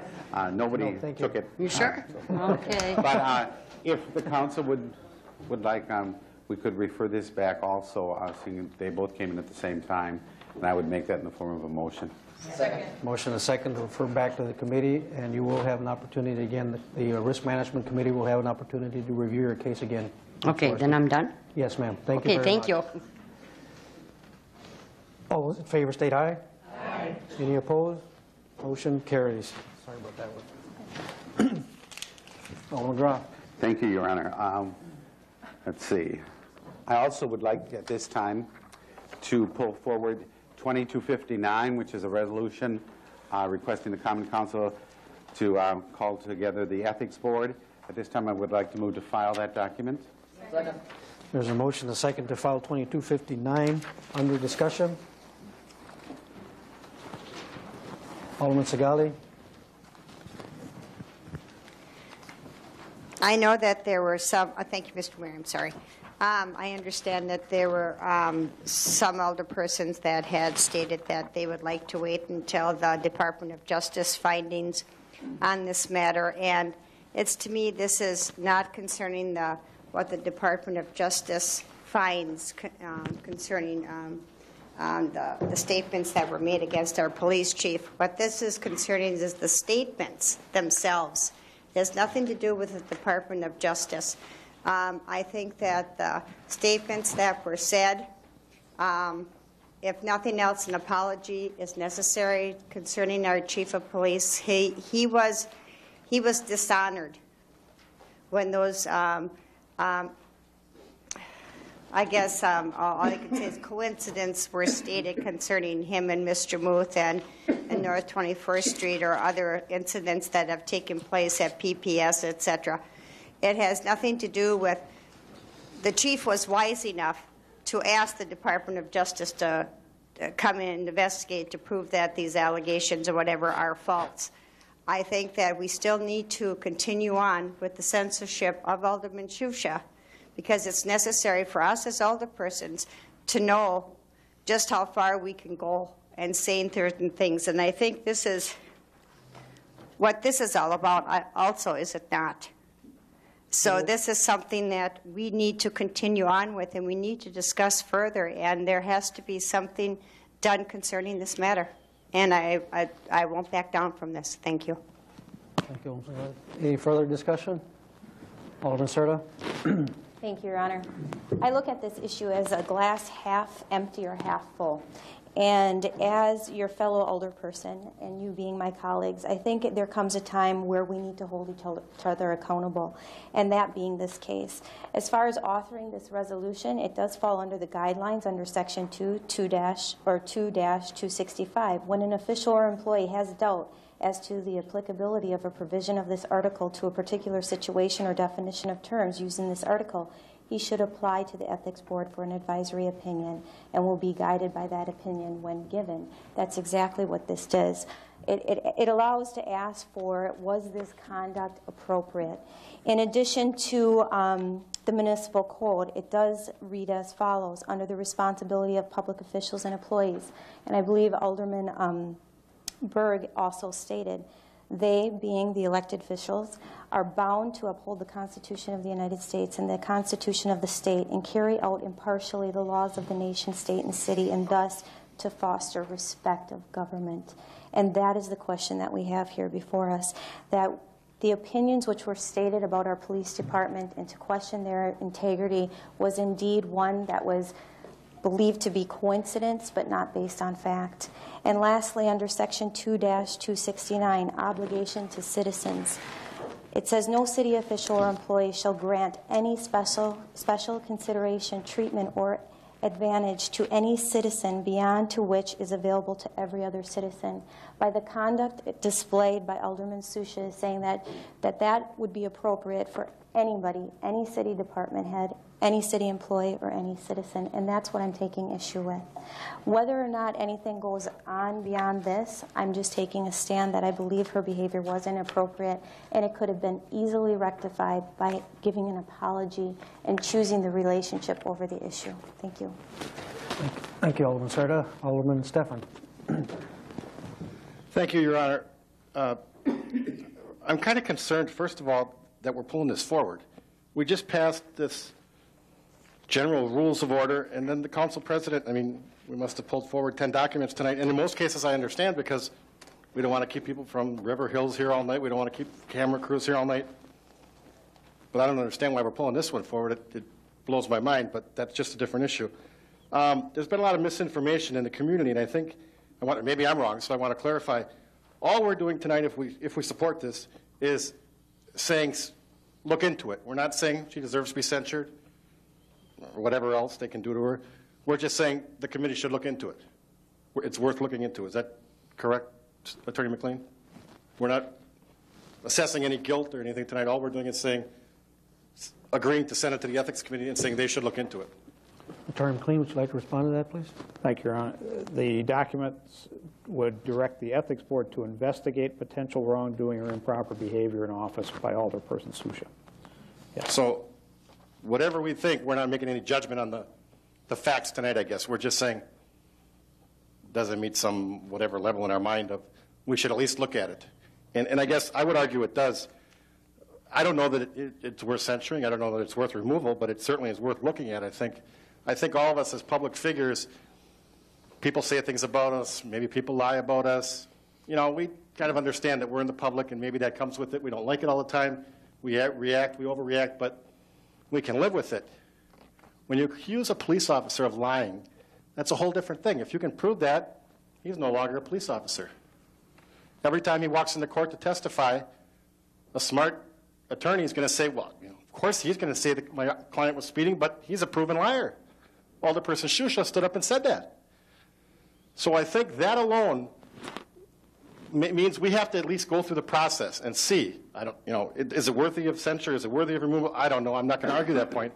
But I think you owe it to the police department to at least say it's got some merit and we have to look at it. Because like I said, if they're lying, they don't have a job anymore. If you can prove they're lying, they're done, particularly the chief.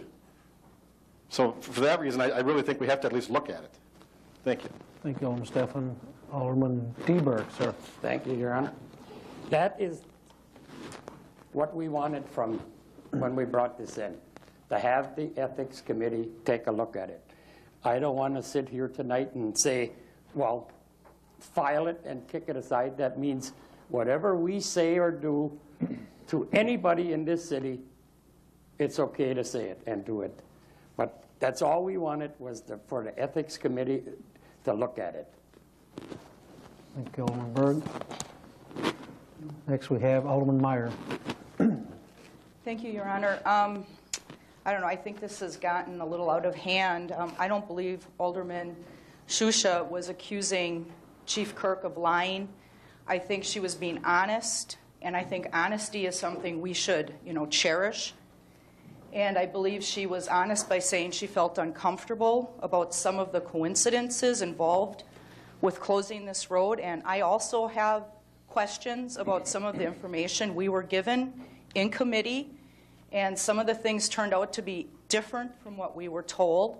And um, I just think this, this doesn't fall under the definition of an ethics violation.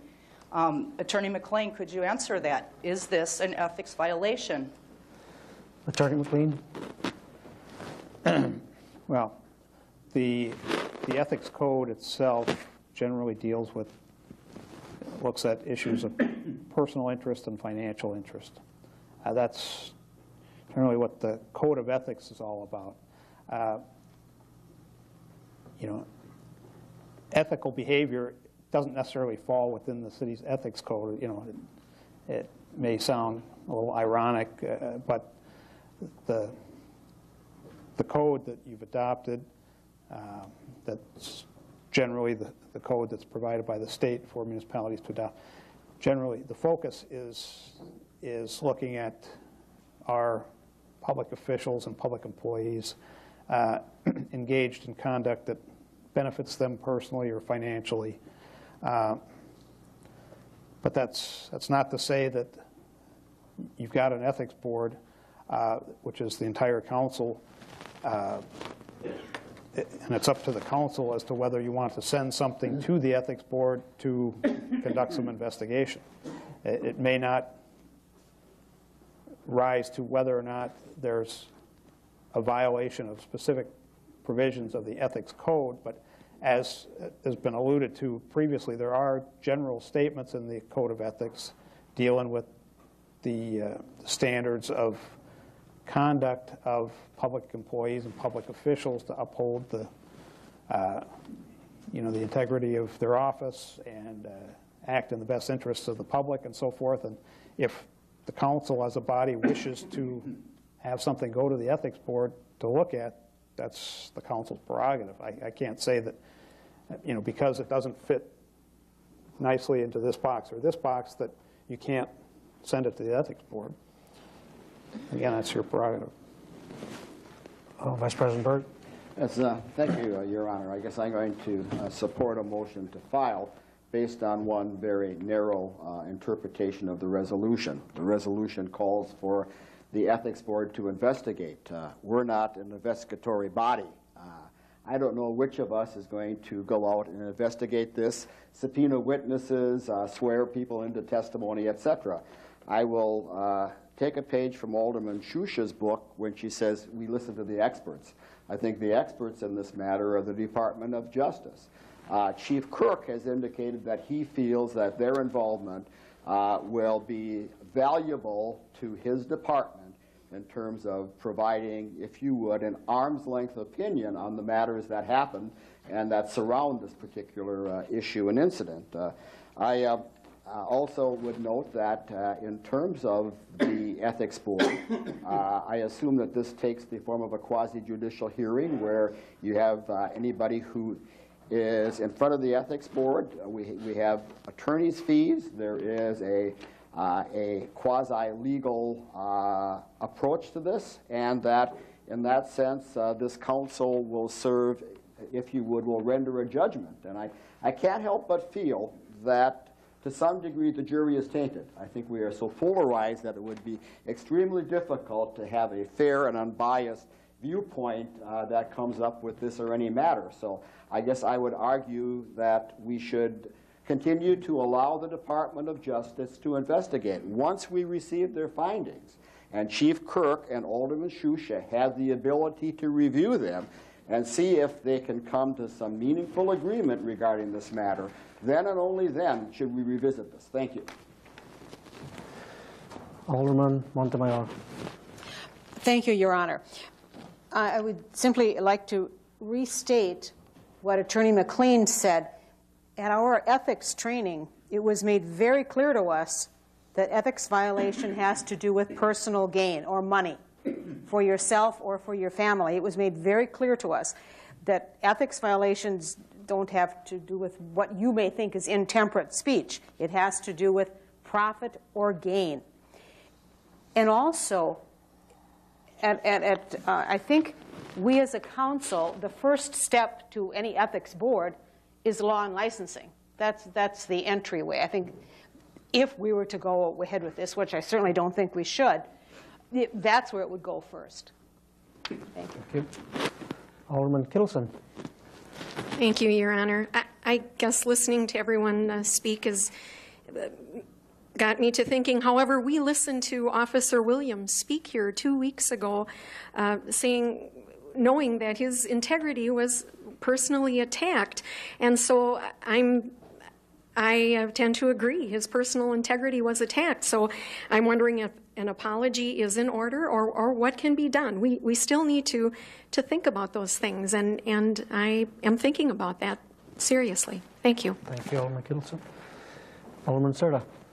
Thank you, Your Honor. Just for some clarification, under the Wisconsin state statute, it does, um, it is very narrow in suggesting that the definition would have to fall under the criteria of financial interest or personal interest. But it does further state that the statute also authorizes a county, city, village, or town to create its own code of ethics in addition to the state code, which we have as follows. Our Sheboygan Municipal Code also outlines um, which Ms. Elderperson Berg had referenced. Again, issues of respect, fostering respect, which I think this would fall under. Another thing that we have to keep in mind, it also mentions that their conduct in both their official and private affairs should be above reproach as to foster respect for all government, going above and beyond the personal and financial interests. It's all outlined here. And secondly, there is a provision under our municipal code that if we do have questions, there is a way that we can bring this forward and look at it, not just leaving it up to the Department of Wisconsin Justice. So it's all outlined here. This is the way that we should take it. Thank you. Alderman Vanderweel. Thank you, Your Honor. This whole discussion just kind of bothers me the way it's all come up. It makes me nervous because if we start censuring people for what they speak on here, maybe they made a mistake, maybe they shouldn't have said it, then we're all going to be worried that if we say something wrong, we're going to be censured. Your Honor, you might remember I made some accusations towards you in the beginning of the year. Probably had the votes to investigate me. Could have sent to law and licensing, but it didn't happen. And in the past, when we send things to law and licensing, when as a group of peers who work together investigate ourselves, it just gets real nasty. I'm not sure I'm going to vote right now, but I believe that Alderman Susha's behavior, what she said, is between her and her constituents, and they have a way to take action, a means to deal with that, if as a group of constituents are that upset with it. Thank you. Thank you, Alderman Vanderweel. We have Alderman Stefan. Uh, Thank you, Your Honor. Uh, Just one, I don't know if it's a point of order or clarification. From the city attorney, when this says directs the ethics board, I guess I was under the impression too that, you know, we had decided at some point that that, the first step was to go to the law and licensing. Is that who this would go to or not, as you understand it? Attorney McLean. Thank you, Your Honor. Uh, It could, the uh, Law and Licensing Committee has been designated by the council as the subcommittee of the Ethics Board. So I guess the way it's worded, I would see it going to the Ethics Board, which is the full council, and then the Ethics Board, if they wished, having it referred to Law and Licensing. But, uh, you know, you could clarify that in the document if you so chose. Uh, The other question I had, um, Alderman Berg seemed concerned about investigating. There's nothing that says we have, to- I mean, we could send it to the ethics board, and they could do nothing until they get the report back from the Attorney General. That would be fine with everybody. I mean, there's nothing that says they have to act on it before that comes back, or act on it next week or anything. You know, if that was their choice, and they said, "Well, we're going to wait and see what the Attorney General does, they can do the investigation, then we wouldn't have to worry about, you know, conducting our own investigation. We could just live with that one and decide, does it meet the merits of an ethics invest, you know, does it need to be pursued further or not? Correct? We could just leave it sit there. Well, until we it, it directs the Ethics Board to investigate. Uh, I don't read that as delaying the matter, but, Right. you know, again, that would be up to all of you who are the Ethics Board. Thank you. Okay, we will, Alderman Manny. Thank you, Honor. Um, I think the discussion is a discussion to have. I don't like the idea of having the discussion around the possibility of a censure. So I'm going to vote against this, but I would like the uh, Ethics Committee to look at the, the issue in totality, and we together can discuss uh, the appropriateness of applying all that city ordinance to our lives. Uh, But I'm uncomfortable with uh, any possible censure at this point, for good reasons, as Mr. Vanderweel offered. Alderman Susha, one more time.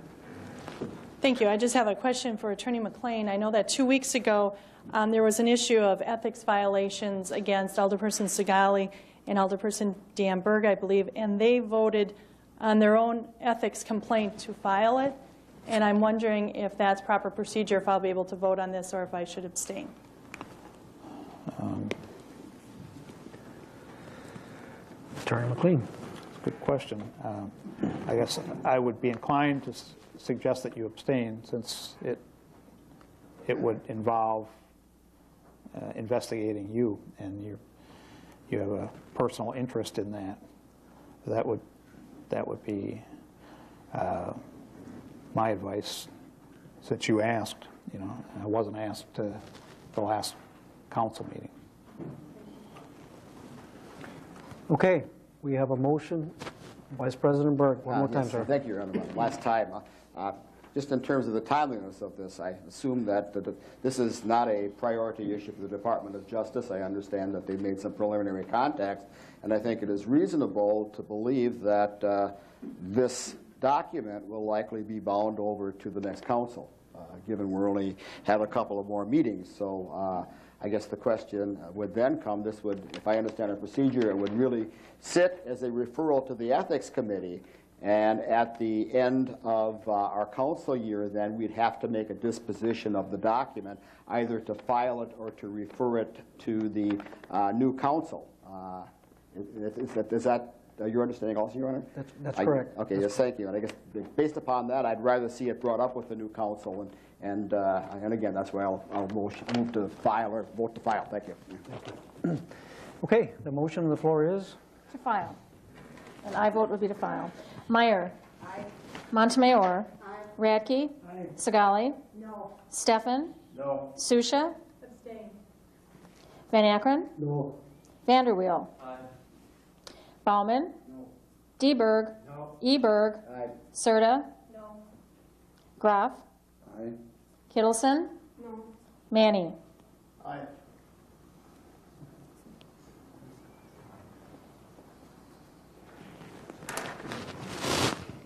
Seven to seven. I will vote aye to file. Alderman Groff, would you please, uh, we have one more, let me explain, 2370, is that what you're doing? Correct. Thank you. I would like to now put forward 2370, which is a resolution authorizing the city of Sheboygan, the office of the mayor, to submit an application to Congressman Petri's office that will request a million-dollar grant for the advancement of the space science and education and technology. I would so move that we pass that resolution. There's a motion to put the resolution upon its passage, 2370. Is there a second?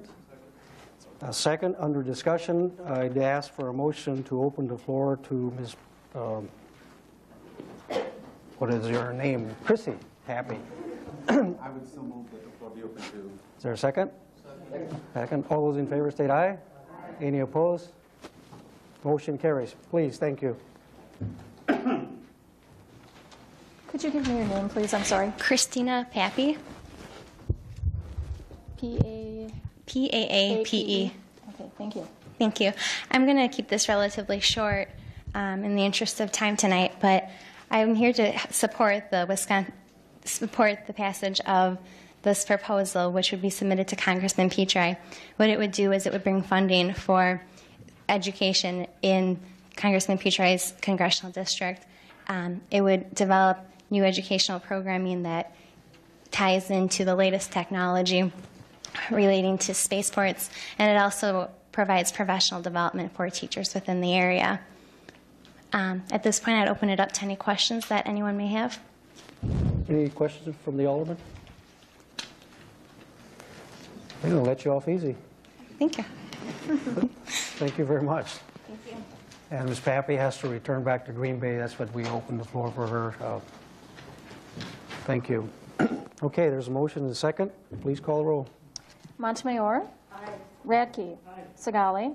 Stefan. Susha. Van Akkeren. Vanderweel.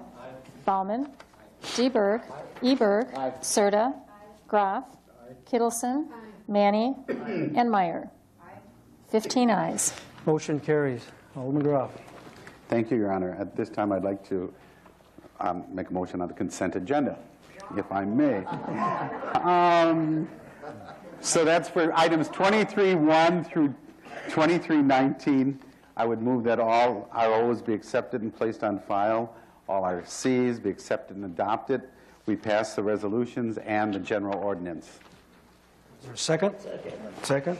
Uh, Any discussion? No? There being none, please call the roll. Radke. Sagali. Stefan. Susha. Van Akkeren. Vanderweel. Bauman. DeBerg. Eberg. Serta. Groff. Kittleson. Manny. Meyer. And Montemayor. 15 ayes. Motion carries. Communications and petitions, 2320 through 2323, to be referred. Report of Officers 2, 2324, by the city attorney submitting, submitting for the council's reference and outline and a portion of the legal document from the municipality magazine regarding procedures for removing local officials from office. Alderman Groff, accept and file. Thank you, Your Honor. I move that the RO be accepted and placed on file. Motion and a second. Any discussion on that? All those in favor state aye. Any opposed? Motion carries. 2325 through 2327 lies over. 2328 to 2338 to be referred.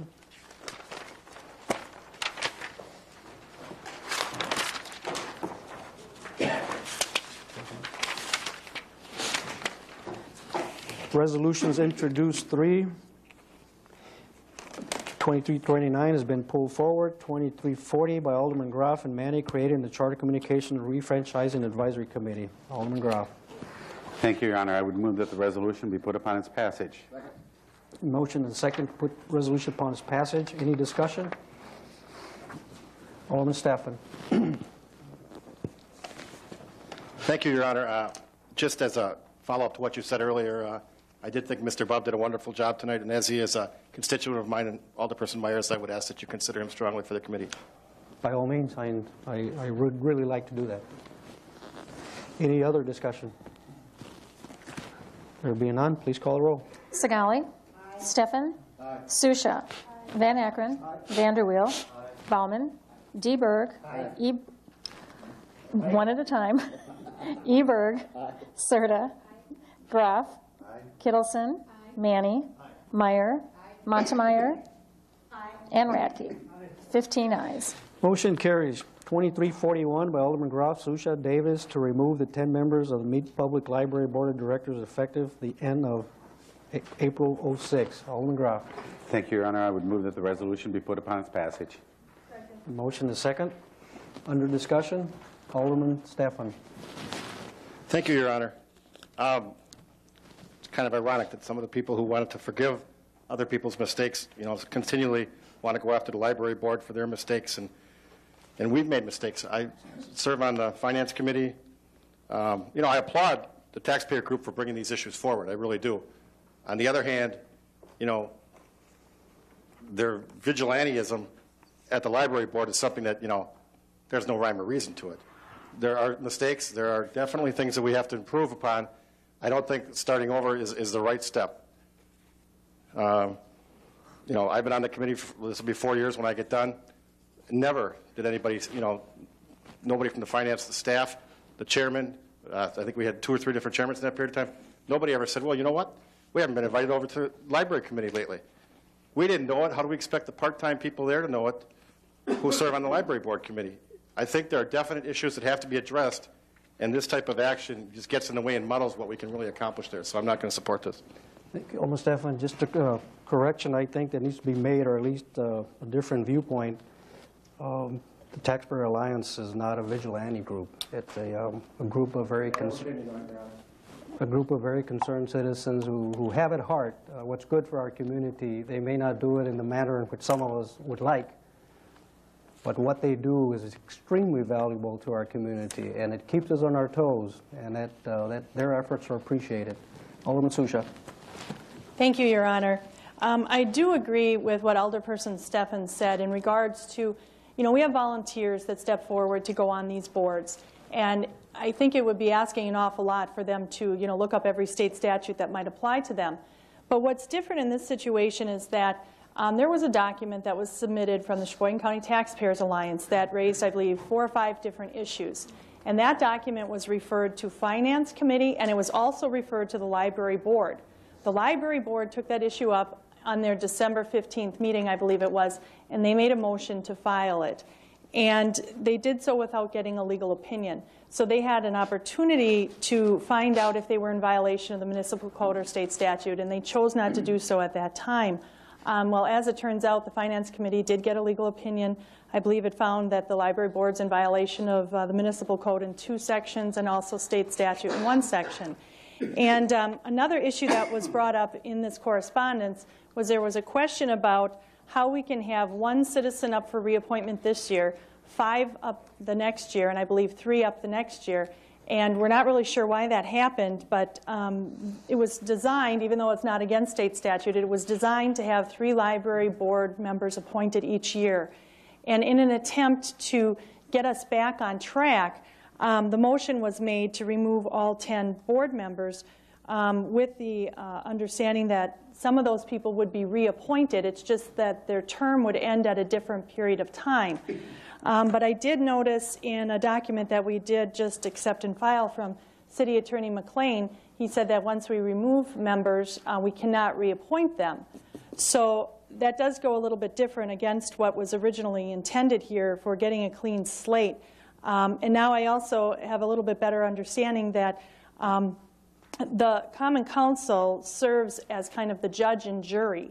Um, If a taxpayer were to step forward and file charges against a library board member, um, we would listen to the case and we would make the conclusion. So if we're serving as the judge, um, for us to say we need to put charges against someone and then we're going to sit as the judge and jury, um, I think that's maybe why the statute was written where we as aldermen cannot serve as a taxpayer because we are going to be the judge. Um, even though I do believe that um, some or uh, some potentially could be removed, um, I, I, I'll vote um, against this tonight, but um, we'll have to see if a taxpayer steps forward in the future. Thank you. Alderman Radke. Thank you, Your Honor. I'm going to vote against this uh, document this evening. Couple things. First off, 10 library board members. We just put two people up there not that long ago again. Secondly, we've got more people going to be changing out with the new council here shortly. So I'm thinking we should hold back a little bit and just wait and see what happens. Let the finance committee work out their differences with the library board, with the new board. If we have new people coming in, two people were just appointed, more people coming with the next council, which is just a month away. So it's it's senseless, in my opinion, to try and go after them at this point in time. Thank you, Alderman Radke. All- uh, Vice President Berg.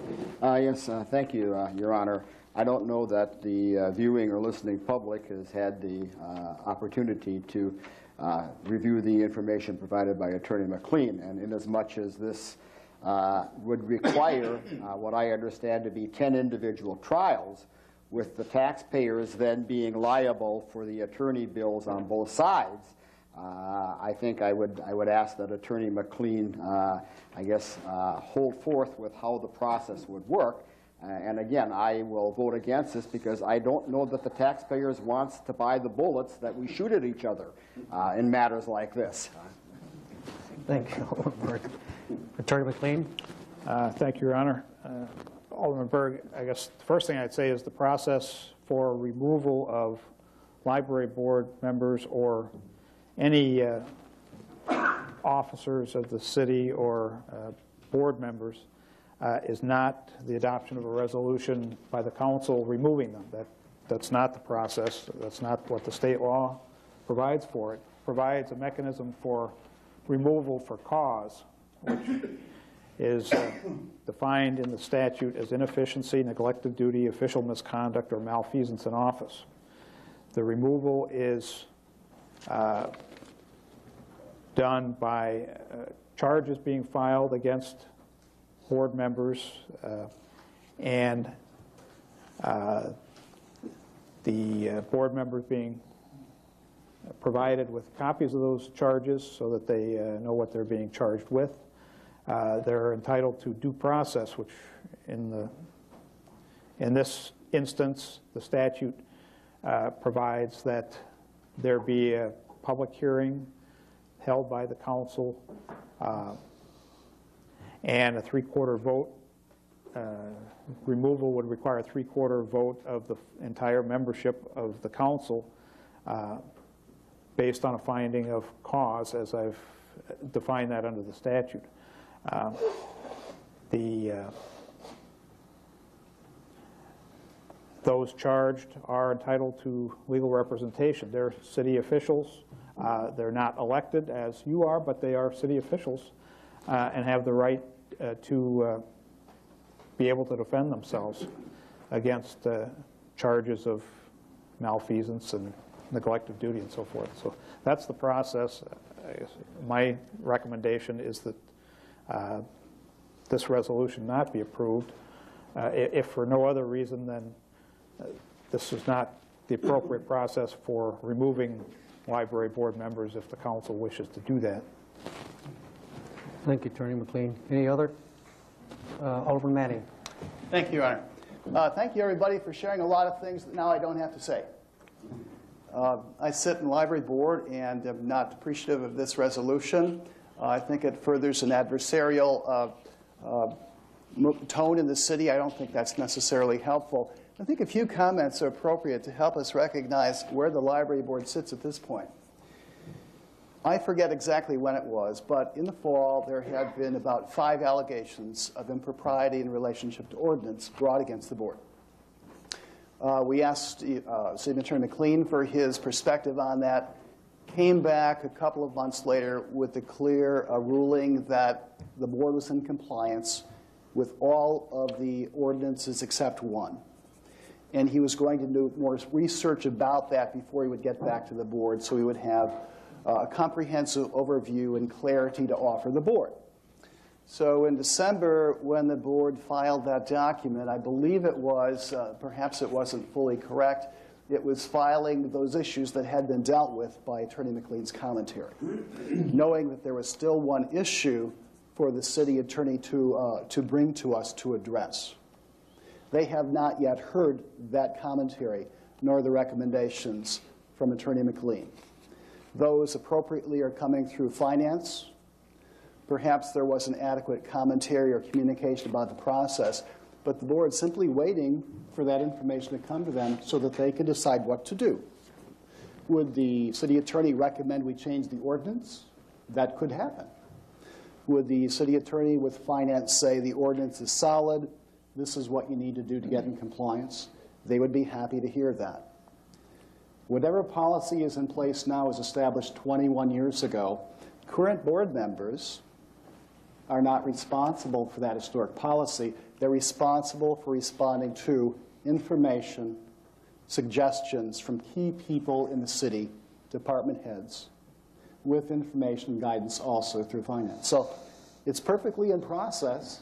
This comes to their next meeting, and any further uh, commentary is helpful, and we're going to meet jointly at the next finance team meeting. I think at that point in time, we'll move ahead wonderfully. Thank you, Alderman Manning. Alderman Segali? Thank you, Mr. Mayor. Um, I appreciate Alderman Manning's comments here. The only thing that I'd like to know is that the library board hasn't listened to in the listened to us in the past. Why would they listen to us now in the future if, if uh, Attorney McLean comes down with the ruling? He's come down and suggested rulings before, and you should not go with this contract, et cetera. They didn't listen before. Are we sure now they're going to listen now to us? Thank you. No, we're we're not sure. And I think what Alderman Manning is saying, that you can't hold them accountable for things they didn't do, but you can't hold them accountable for things that they don't do from here on. That's the point I believe we're trying to make. Anything else on that? Please call the roll. And this is for passage of the resolution to remove the 10 members. Stefan? No. Susha? No. Van Akkeren? No. Vanderweel? No. Bauman? No. Deberg? Eberg? No. Serta? No. Groff? Kittleson? No. Manny? No. Excuse me? No? Oh, was that a no? Remind me what I voted is I'm so busy counting numbers, I'm It's to. It's to pass the resolution to remove the board members. Meyer? Montemayor? No. Radke? No. Sigali? Three ayes, 12 noes. Motion fails. I'd ask for a motion to recess for two minutes and to switch the tape. Second. Second, all those in favor say aye. We will recess for two minutes.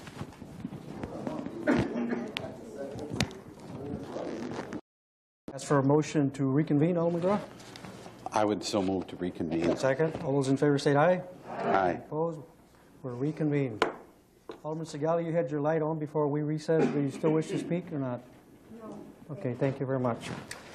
Uh, 2342 by Alderman Berg, Groff, Berg, Van Akkeren, and Serta, accepting the agreement with Local 480 483 IAFF for the 20506 contract and authorizing the collective bargaining committee and the chairman of the committee of- on salaries and grievance to sign the agreement.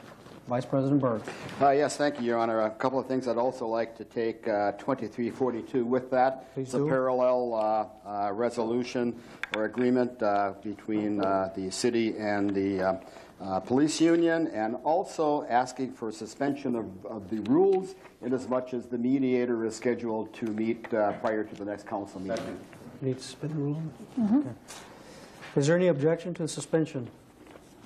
There being none, please proceed. Under discussion. Uh, Yes, thank you, Your Honor. Uh, uh, I will read, uh, uh, pardon?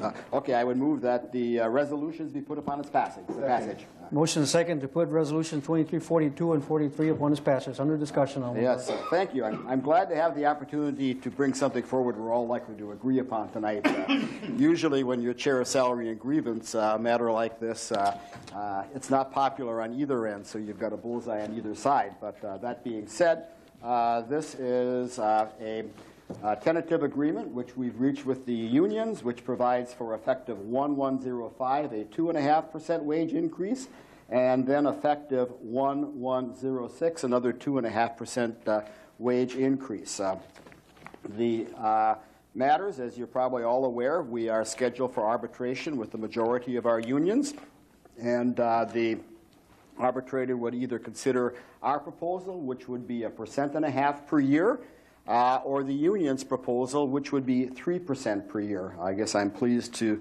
uh, note that uh, the, uh, even though we are scheduled for arbitration, uh, the unions and our HR staff, as well as the bargaining teams, have still been active and have come together with uh, what I feel is a reasonable compromise, given the contentious nature that always exists when you go through arbitration.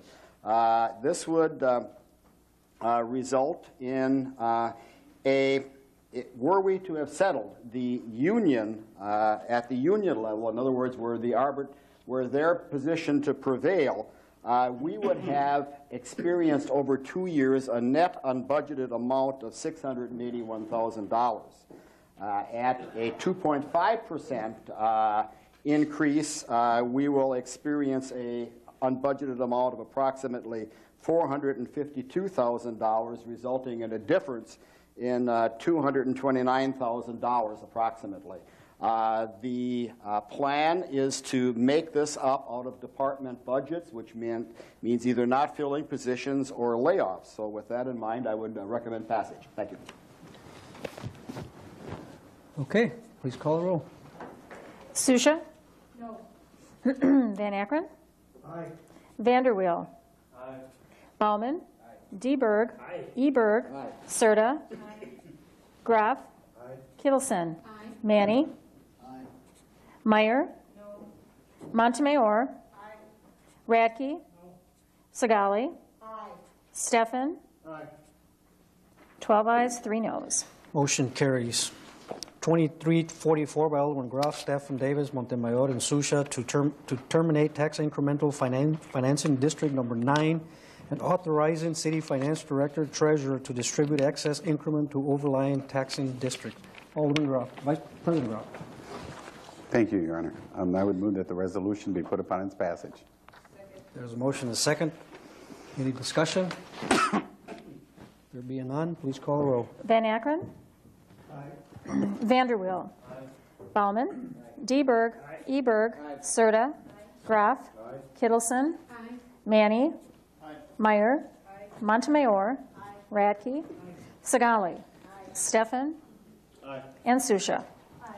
15 ayes. Motion carries. 2345 by Alderman Susha, Vanderweel, Meyer, Montemayor, and Radke temporarily declaring certain streets as truck routes so as to best protect residential neighborhoods during the Commerce Avenue reconstruction and to prevent future problems with truckers using shortcuts and non-truck routes. Alderman Susha. Thank you, Your Honor. Um, I would like to move to suspend the rules. Is there any objection to suspension of the rules? Second. Is there no objection, she can proceed. Please proceed. It's no objection. Um, Thank you. Being that uh, we'd like to uh, put the signs in effect April 1st, I move that the resolution be put upon its passage. Motion second. Under discussion, uh, Alderman DeBerg. Thank you, Your Honor. This one I will not uh, support because what we're doing here, you're taking a lot of trucking, taking it off of the truck route, which is 14th Street. The trucks that are going south could go just up to Indiana Avenue, turn left down to 11th Street, they're right down at Rockline. This way, they're turning left off of uh, 14th Street on Penn Avenue, going one block, and then making a big wide turn into 13th Street, which that whole street all the way down to Maryland Avenue is neighborhoods with children and everything, and going right by Sheridan Park, where in the summertime, it's, there's going to be many, many kids there, the way I understand, and you're putting those kids in harm's way with all this trucking. My main concern are the neighbors and the kids in that neighborhood, and not the trucking industry or Rockline. So I'm not going to support this. Alderman Segali. Thank you, Mr. Mayor. What my question is, I would like to know if any of the neighbors were contacted concerning this, at least to discuss it with them before we brought this to the council. If you remember correctly, Gina, and um, who was quite a uh, advocate of her neighborhood, they fought so hard to get that truck route changed and to make the one-way streets and to make sure that the trucks weren't going down there. I'm hoping that somebody had the courtesy of calling their neighborhood or going around and saying to the neighborhood this was going to take place before we brought this to the council. And from what I understand, nothing had been concerning these neighbors. So I'd like to ask, have somebody answer that question for me, please. Yes, Alderman Segali. The, Thank uh, you. The decision is made by our engineer in office, Mr. Holton.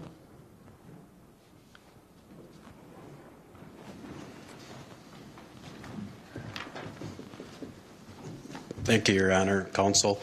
Uh, We chose 13th Street, but to Penn Avenue to Maryland Avenue, that's what, what disturbed the least amount of uh, people going that way. Rockline has, another business have, they have to get access from the west and the north also, uh, what you had stated from the south loading dock, they can get out to Indiana Avenue. But from their north loading docks, they don't have a way out of there. And commerce is going to be closed down tight. We need to do that uh, in order to facilitate the reconstruction of that project. Okay. Does that answer your question? Alderman Segali? No, Mr. Mayor. I asked if you, my question was, have, did you contact the neighbors? Did you discuss this with the neighbors who fought so hard to get that truck route changed to one-way so that it didn't have problems with the trucks? Did you talk to Gina and her neighbors? Uh, No, I did not, and uh, I apologize. I don't know if Ryan Sosma did. Uh, I don't know the answer to that one. Uh, We had talked, discussed after this was all approved, is sending out letters uh, to the neighbors explaining what we're doing so they weren't caught off guard uh, when the truck started going down 13th Street. Okay. Alderman Kittleson, a question for Mr. Holton? No, thank you, Mr. Okay, It's Mr. Holton, we're done with you. Nothing else? Alderman Stefan? Oh, I'm sorry, hold on, hold on. Alderman Susha is next. Your light's blinking? Yes. Thank you, Your Honor. Um, When this came into our committee, um, Ryan Zasma is a representative from uh, engineering that speaks to these issues. And uh, the way he explained it was that this would least likely disrupt the neighborhood. Um, What we did not want happen are the trucks going down Maryland Avenue and getting back into that um, habit, because it's been very difficult to break them of that habit. So we took that into consideration, and his recommendation was that we should keep them going the same direction that they're used to traveling, because it's my understanding when they leave Rockline, line, that's one of the ways that they can get back Yes. out of there. So we don't want them to get creative and find their own ways into the building or into those uh, businesses by going right down Maryland Avenue because we have listened to the concerns from the people that live on Maryland Avenue, and that's why we're routing the trucks down 13th Street instead of down Maryland Avenue because we have heard from these neighbors time and time and time again, and we're trying to help them. I mean, if you'd prefer not to go down 13th Street, and if you want us running the trucks right down Maryland, I mean, we could do that. But then after the seven months is up at the end of October, then when you try to break them of that habit, um, that's going to be very difficult. So this is just a temporary situation where trucks will be routed down 13th Street while the Commerce Street construction is going on, and then it'll go back to normal. Alderman Stefan? Thank you, Your Honor. My question was just the October 30th date. Is that pretty firm, or could you possibly get it done sooner? Or? You could possibly get it done sooner, depending on the weather. If we have a lot of rain, that shuts us down. But uh, we got Mission Avenue done three weeks ahead of schedule last year, so hopefully that'll happen this year with Commerce. Alderman Vanderweel. Thank you, Your Honor. Um, Engineer Ryan Sasma was involved in the two and a half years we were trying to get the trucks not to go down that one way. And I know he tried his best to not disturb the neighborhood as much as we could. But we do owe it to the citizens to at least have them voice their concerns about it going down and, uh, and be involved in the process. So I'll make a motion to refer this back to Public Protection and Safety. There's a motion to refer back. Is there a second to that? Second. Any discussion on referring it back to the Public Protection and Safety? Alderman Radke, you wish to speak on the uh, referral? Yes. Thank you, Your Honor. I can't support sending this back to public protection and safety. Um, This project is going to need to get going. We need to get these signs and things in place before the construction begins. And there was all the alternatives we looked at previously.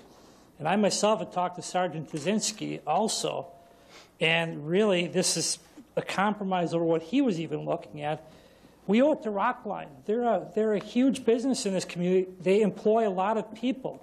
People sometimes are, are inconvenienced when a construction project goes on, whether it be a business, whether it be industry, whether it be in a neighborhood. Unfortunately, sometimes we have to just adjust to those for just a few months. But we owe it to that industry to also take care of them as well as the neighbors. And I think we've already done that, so I'm not going to vote in favor of sending this back to the committee. Alderman Stefan. Uh, Thank you, Your Honor.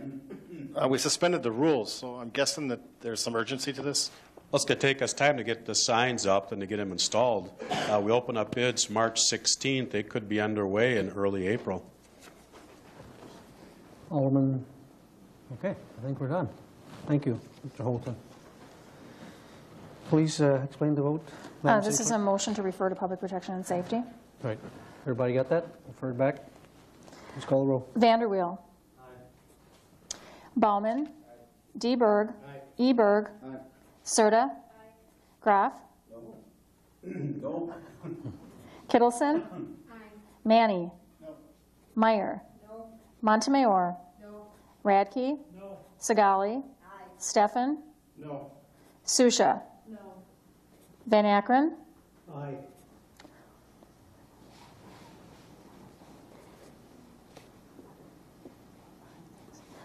Eight ayes, seven noes. Motion carries. 2346 lies over. 2347 to 2351 to be referred, with the exception of 2349, which we pulled forward.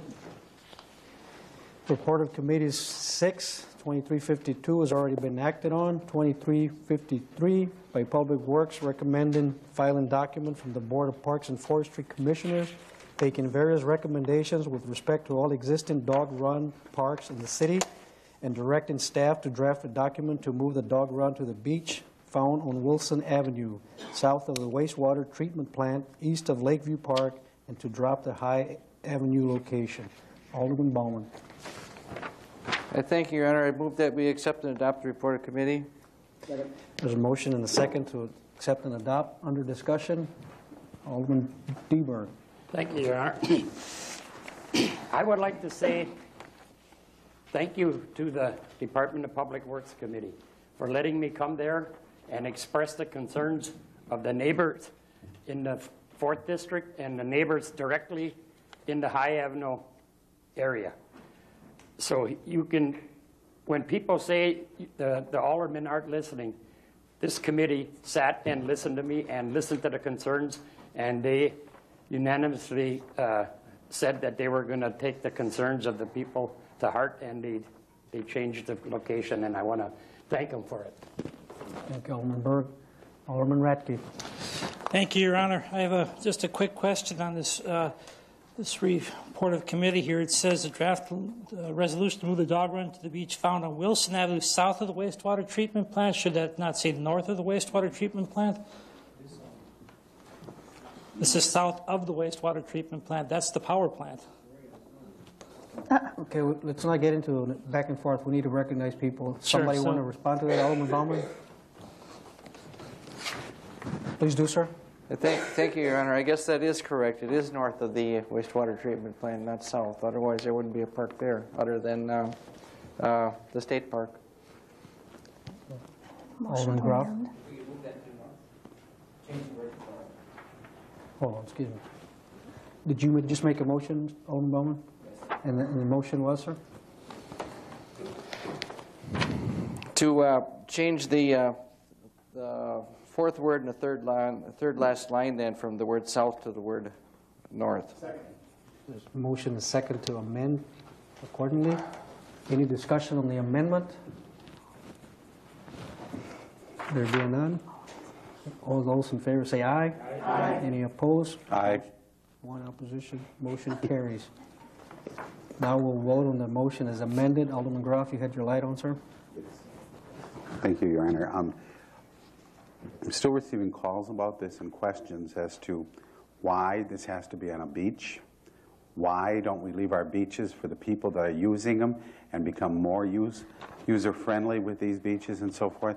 And uh, there's other places that these dog runs could go, and my constituents, and um, I'm happy that Alderman Berg could, um, could attend the meeting and bring forth some of them, but my concerns that I'm getting right now are is that why does it have to be on a beach and why does it have to be there? So I will not support this. We motion to amend. The vote is amended. Not yet. You can do that. We don't have a motion yet. There's no We- motion. To amend, yeah, to- motion to uh, accept and adopt as We need- amended. We we need a need- motion. Okay, because I was amending, we need a motion to put the resolution upon its passage as amended. Alderman Bauman, Your Honor, I'd so move. there's motion and a second. Under discussion on that motion, Alderman Segali. Thank you, Mr. Mayor. I just want to make a comment about this Lakeview Park, and if anybody has gone down there, um, my mother lives in the Lakeview Apartments, and I watch over the cliff. This, if that, if that's what they call Little Lakeview Park or whatever, where that dog run would be, and I just feel that um, that's really a very good location compared to the High Avenue one, where I think there's more traffic on High Avenue than there is at the Lakeview Park. So I'm in agreement with it. Thank you. Thank you. Alderman Meyer. Thank you, Your Honor. Um, I know when this location was first brought up, there was mention of the natural bluffs in that area. Has anybody checked with the DNR about using this area, if this was, you know, um, allowed? Are you directing a question to someone specifically, Alderman Meyer? Oh, I guess anybody that might know the answer. Alderman Bauman, you being chairman of that, do you have any response for that? Well, I'll try, Your Honor, but I really don't know if we would need to check with the DNR or anyone else on that particular matter. Uh, I think it's perfectly safe to use. Thank you, Alderman Bauman. Alderman Stefan? Um, I just want to be sure on what we're voting on here. All this is pretty much doing is saying we're not building it at High Avenue, and we're going to look at building it at the other place. So I think those are some of the things that staff will probably have to look at as we, you know, as, we're not finalizing it at Lakeview Park tonight, correct? I believe We're just saying we're not doing it at High Park, we're going to look at doing it at Lakeview Park. Well, it says a resolution to move the dog run to the beach, to have staff draft a resolution to move the, so we don't have that resolution yet. No. So this, this is just putting the kibosh on the High Avenue site with the understanding staff's going to be looking into the Lakeview and bringing that forward if it works out. Alderman Bauman, you have a comment to that, sir? As far as I knew, Your Honor, I thought we were bringing this up to actually be voted on to move it, you know, as of So the this. document has been drafted already? Correct. Okay. Everybody understand that? Attorney McLean? Thank you, Your Honor. Uh, I hadn't seen the text of the committee report, but uh, two doc, or document 2359 i- is what I was requested to draw up, uh, designating the dog uh, beach area as the beach area adjacent to Lakeview Park. Um, You notice it's, it's done by ordinance as opposed to resolution. That's because uh, our dog walk run uh, areas are designated by ordinance, but that's what I was uh, advised was, uh, sh- should be uh, drafted up. Uh, And with respect to the evaluating within a period of one year from passage, the way it was drafted was it would be designated as a dog walk area, And then uh, in section two, it talks about within 13 months after adoption, the Public Works Committee would review and evaluate the impact and uh, report its findings to the council. Um, So it is drafted. You could act on that. You'd have to suspend the rules, in my opinion, to do that, but uh, uh, I did draft the document. And if everybody will note, uh, on the next page, ordinance is introduced 10, uh, 2359 speaks to that, and that's being referred to Public Works. And that'll take care of your, your concern. Right. Okay. So, we're moving on 2353. Please call the roll. Bauman. DeBerg. Eberg. Serta. Groff. Kittleson. Manny. Meyer. Montemayor. Radke. Sagali. Stefan. Susha. Van Akkeren. And Vanderweel. 13 ayes, 2 noes. Motion carries. Report of Committees 7, 2357 by Finance recommending inviting the Library Board to the next Finance Committee meeting on March 13th, 06, to review an amended ordinance relating to Section 58-38 of the Municipal Code, and the committee further hmm. recommends removal of all 10 Library Board members at the end of April 06. Alderman Groff. Thank you, Your Honor. I would move that the RC be accepted and adopted. Is there a second? We have a motion and a second. Under discussion, Alderman Stefan. Uh, Thank you, Your Honor. I'd like to make an amendment to delete everything after Finance Committee meeting on March 13th, 2006. Delete everything after that. So it's just recommending the- inviting the library board to our next meeting, and the rest is deleted. Who seconded it? I'm sorry. Everybody, everybody understand that? Okay. Any discussion, uh, President Groff? Thank you, Your Honor. Um, I would suggest that um, you include the words or keep the words to review an amended ordinance relating to Section 5838 of the Municipal Code. Also, rather than um, rather than re- stop it as of uh, March 13th, 2006. Alderman Stefan? Um, I guess I'm going to just stop it there because I think we have numerous issues to talk with them about, and I don't want to clarify it to one ordinance, one thing. I think there'll be more than enough items to discuss. Okay, so your motion stands. Yes. Okay. Please call Alderman Susha. Are we, are we, thank you, Your Honor. Um, Are we trying to amend an RC? Is that what we're voting on? That's what it's been proposed, yes. Okay, according to our new book of order, um, this is debatable but not amendable and requires a majority vote. So can we amend this? Alderman McLean? Uh, I would, I would agree with Alderman Susha. I don't think you can. This is a committee report. Uh, You can, you don't have to accept the committee report, but uh, it's really the report of the committee, and to the council can't really amend the report of the committee. You don't have to agree with it, but really shouldn't be amending any of the report. Alderman Stefan, would you like to withdraw your motion then, sir? Sir. Okay. Motion has been withdrawn. Whoever seconded it agrees? Concur? On the original motion, Alderman Kittleson? Thank you, Mr. Mayor. Can we make a motion then to divide the question on, on an No, it's- RC? It's a committee report. So you can- no question. Yes. Alderman, Vice President Berg. Uh, Yes, thank you, Your Honor. Uh, As it is a committee report, uh, we don't have to accept it, and I believe we can re-refer it to the committee. Is that a possibility? You can, you should be able to do that. Okay, then I will make a motion to refer this back to Finance Committee. Motion second, refer back to Finance Committee. Referral under discussion. Alderman Stefan. None. Alderman Radke, discussion on referral. Thank you, Mr. Mayor, uh, Your Honor. Uh, Referring this back to the committee is only going to prolong what's been already going on with the library board. It's time that we just let this thing go through, accept the report of the committee, and get on with the business of trying to fix the problems we have between this council and the Mead Public Library Board and the Finance Committee and everybody else involved. So I'm going to vote no against sending, uh, to sending this back to committee. Thank you. Thank you, Alderman Radke. Alderman Serta. Thank you, Your Honor. I think what we're asking is that once it goes back to the committee, that they could amend that change because it was already identified, which you supported, that that second, the wordage in here is not feasible legally, given um, City Attorney Steve McLean's legal opinion. Alderman Montemayor. Thank you, Your Honor. Considering that this simply is a report of the committee, and we're not taking an- any action, they're telling us that we're going to meet with the library board, and the, the part about um, removal of all 10 library board members is moot. We're not going to be doing that, or that was, so it's simply the report that we're accepting, nothing else. And there's no action being taken on anything. Alderman Susha. Thank you, Your Honor. Just a procedural question. If the motion is to accept and adopt and it failed, what happens to the document then? Good question. Then there should be another motion to uh, to place it on file.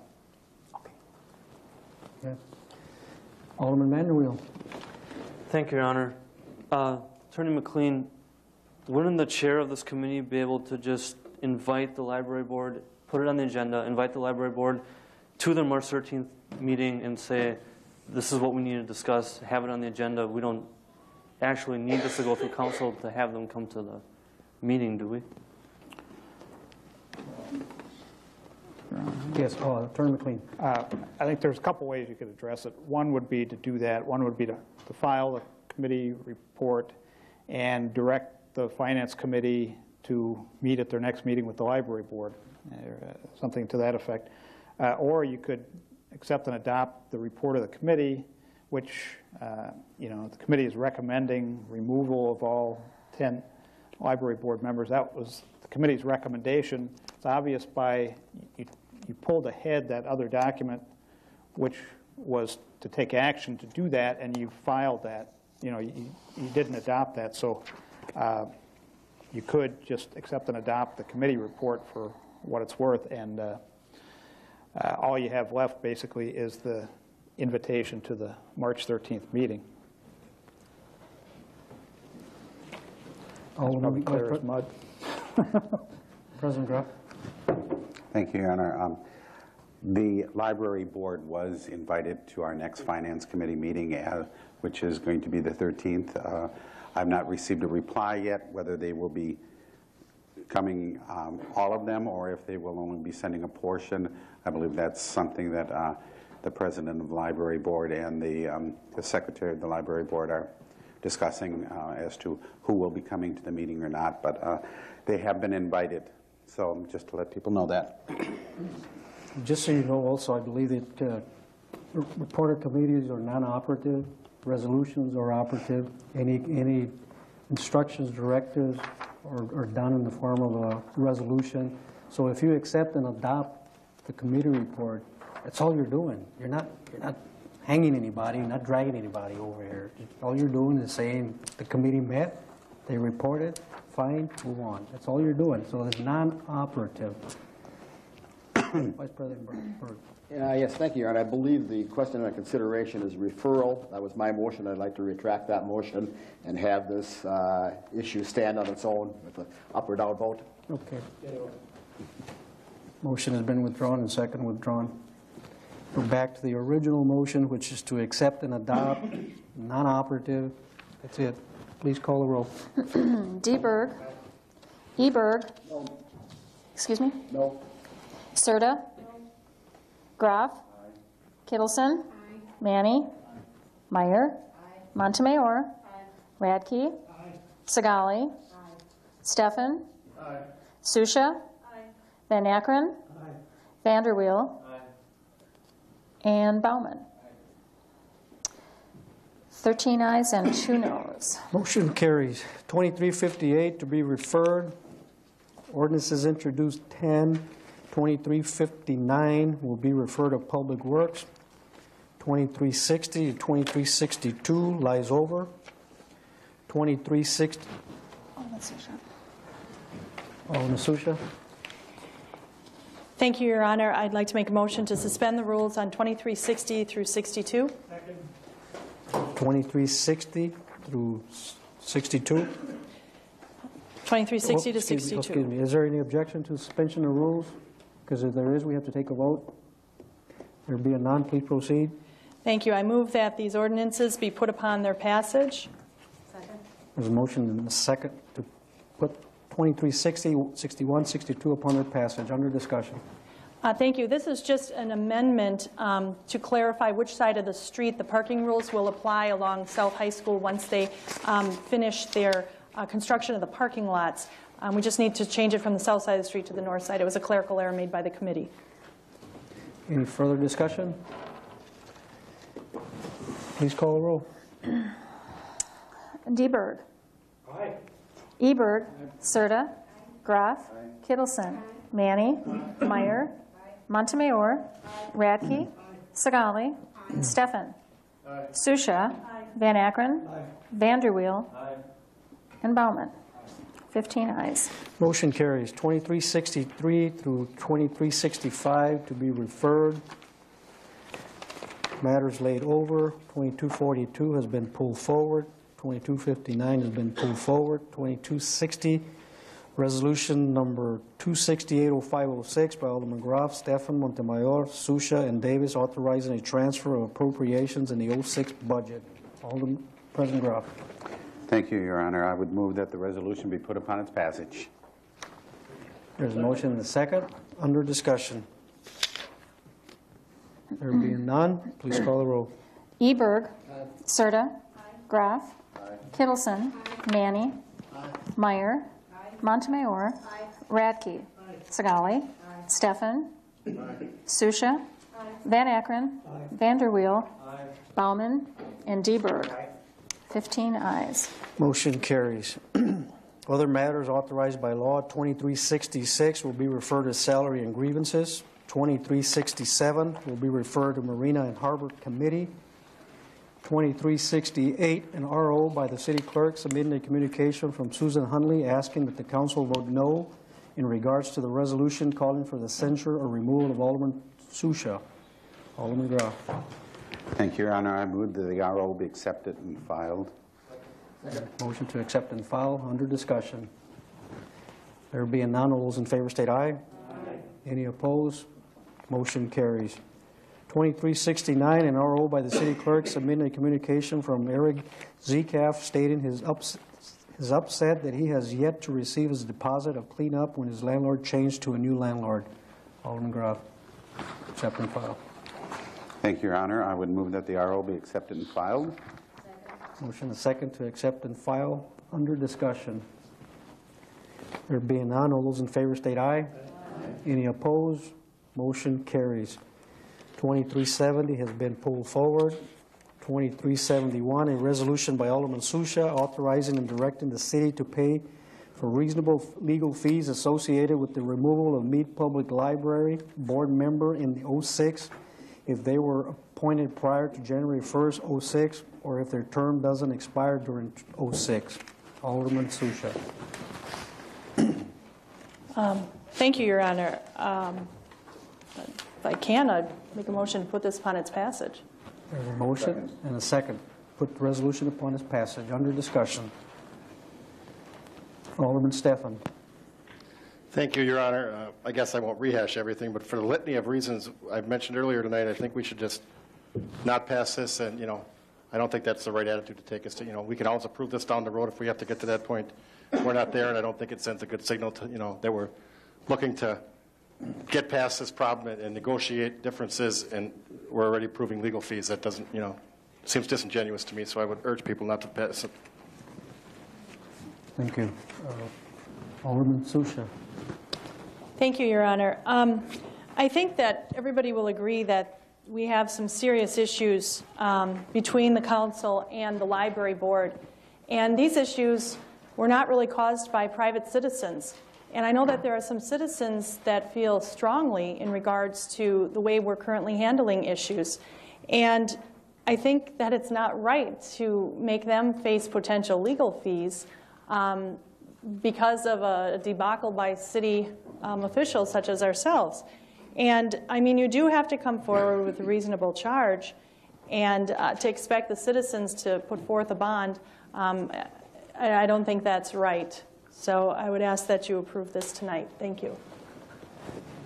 Vice President Byrd.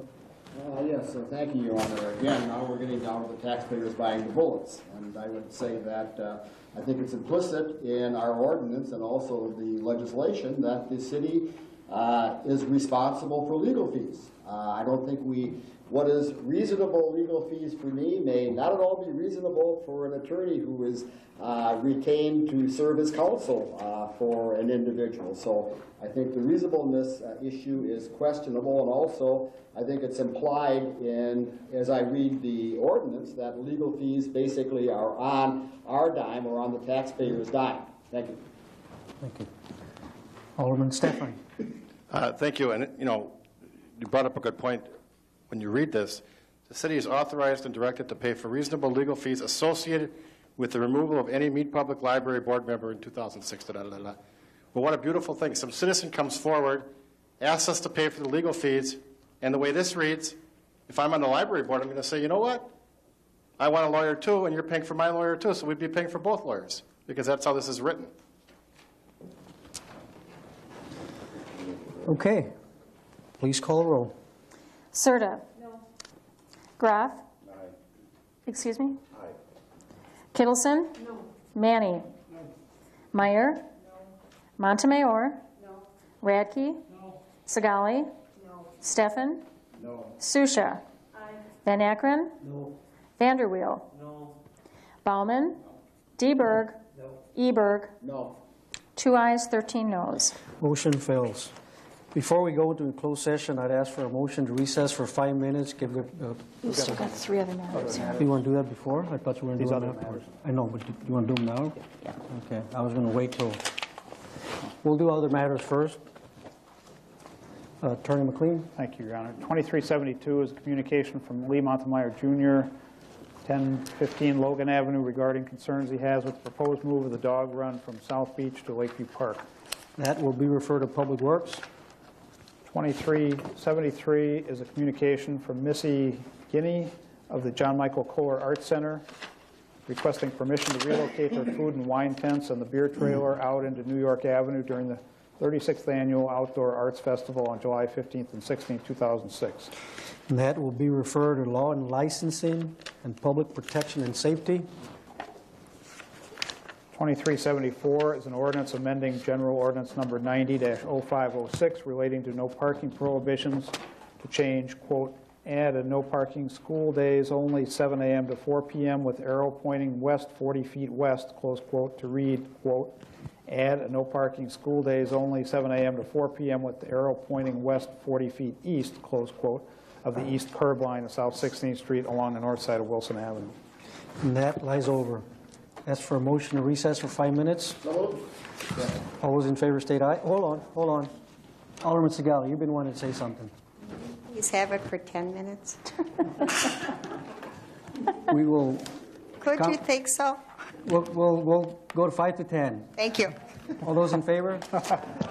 We stand recessed.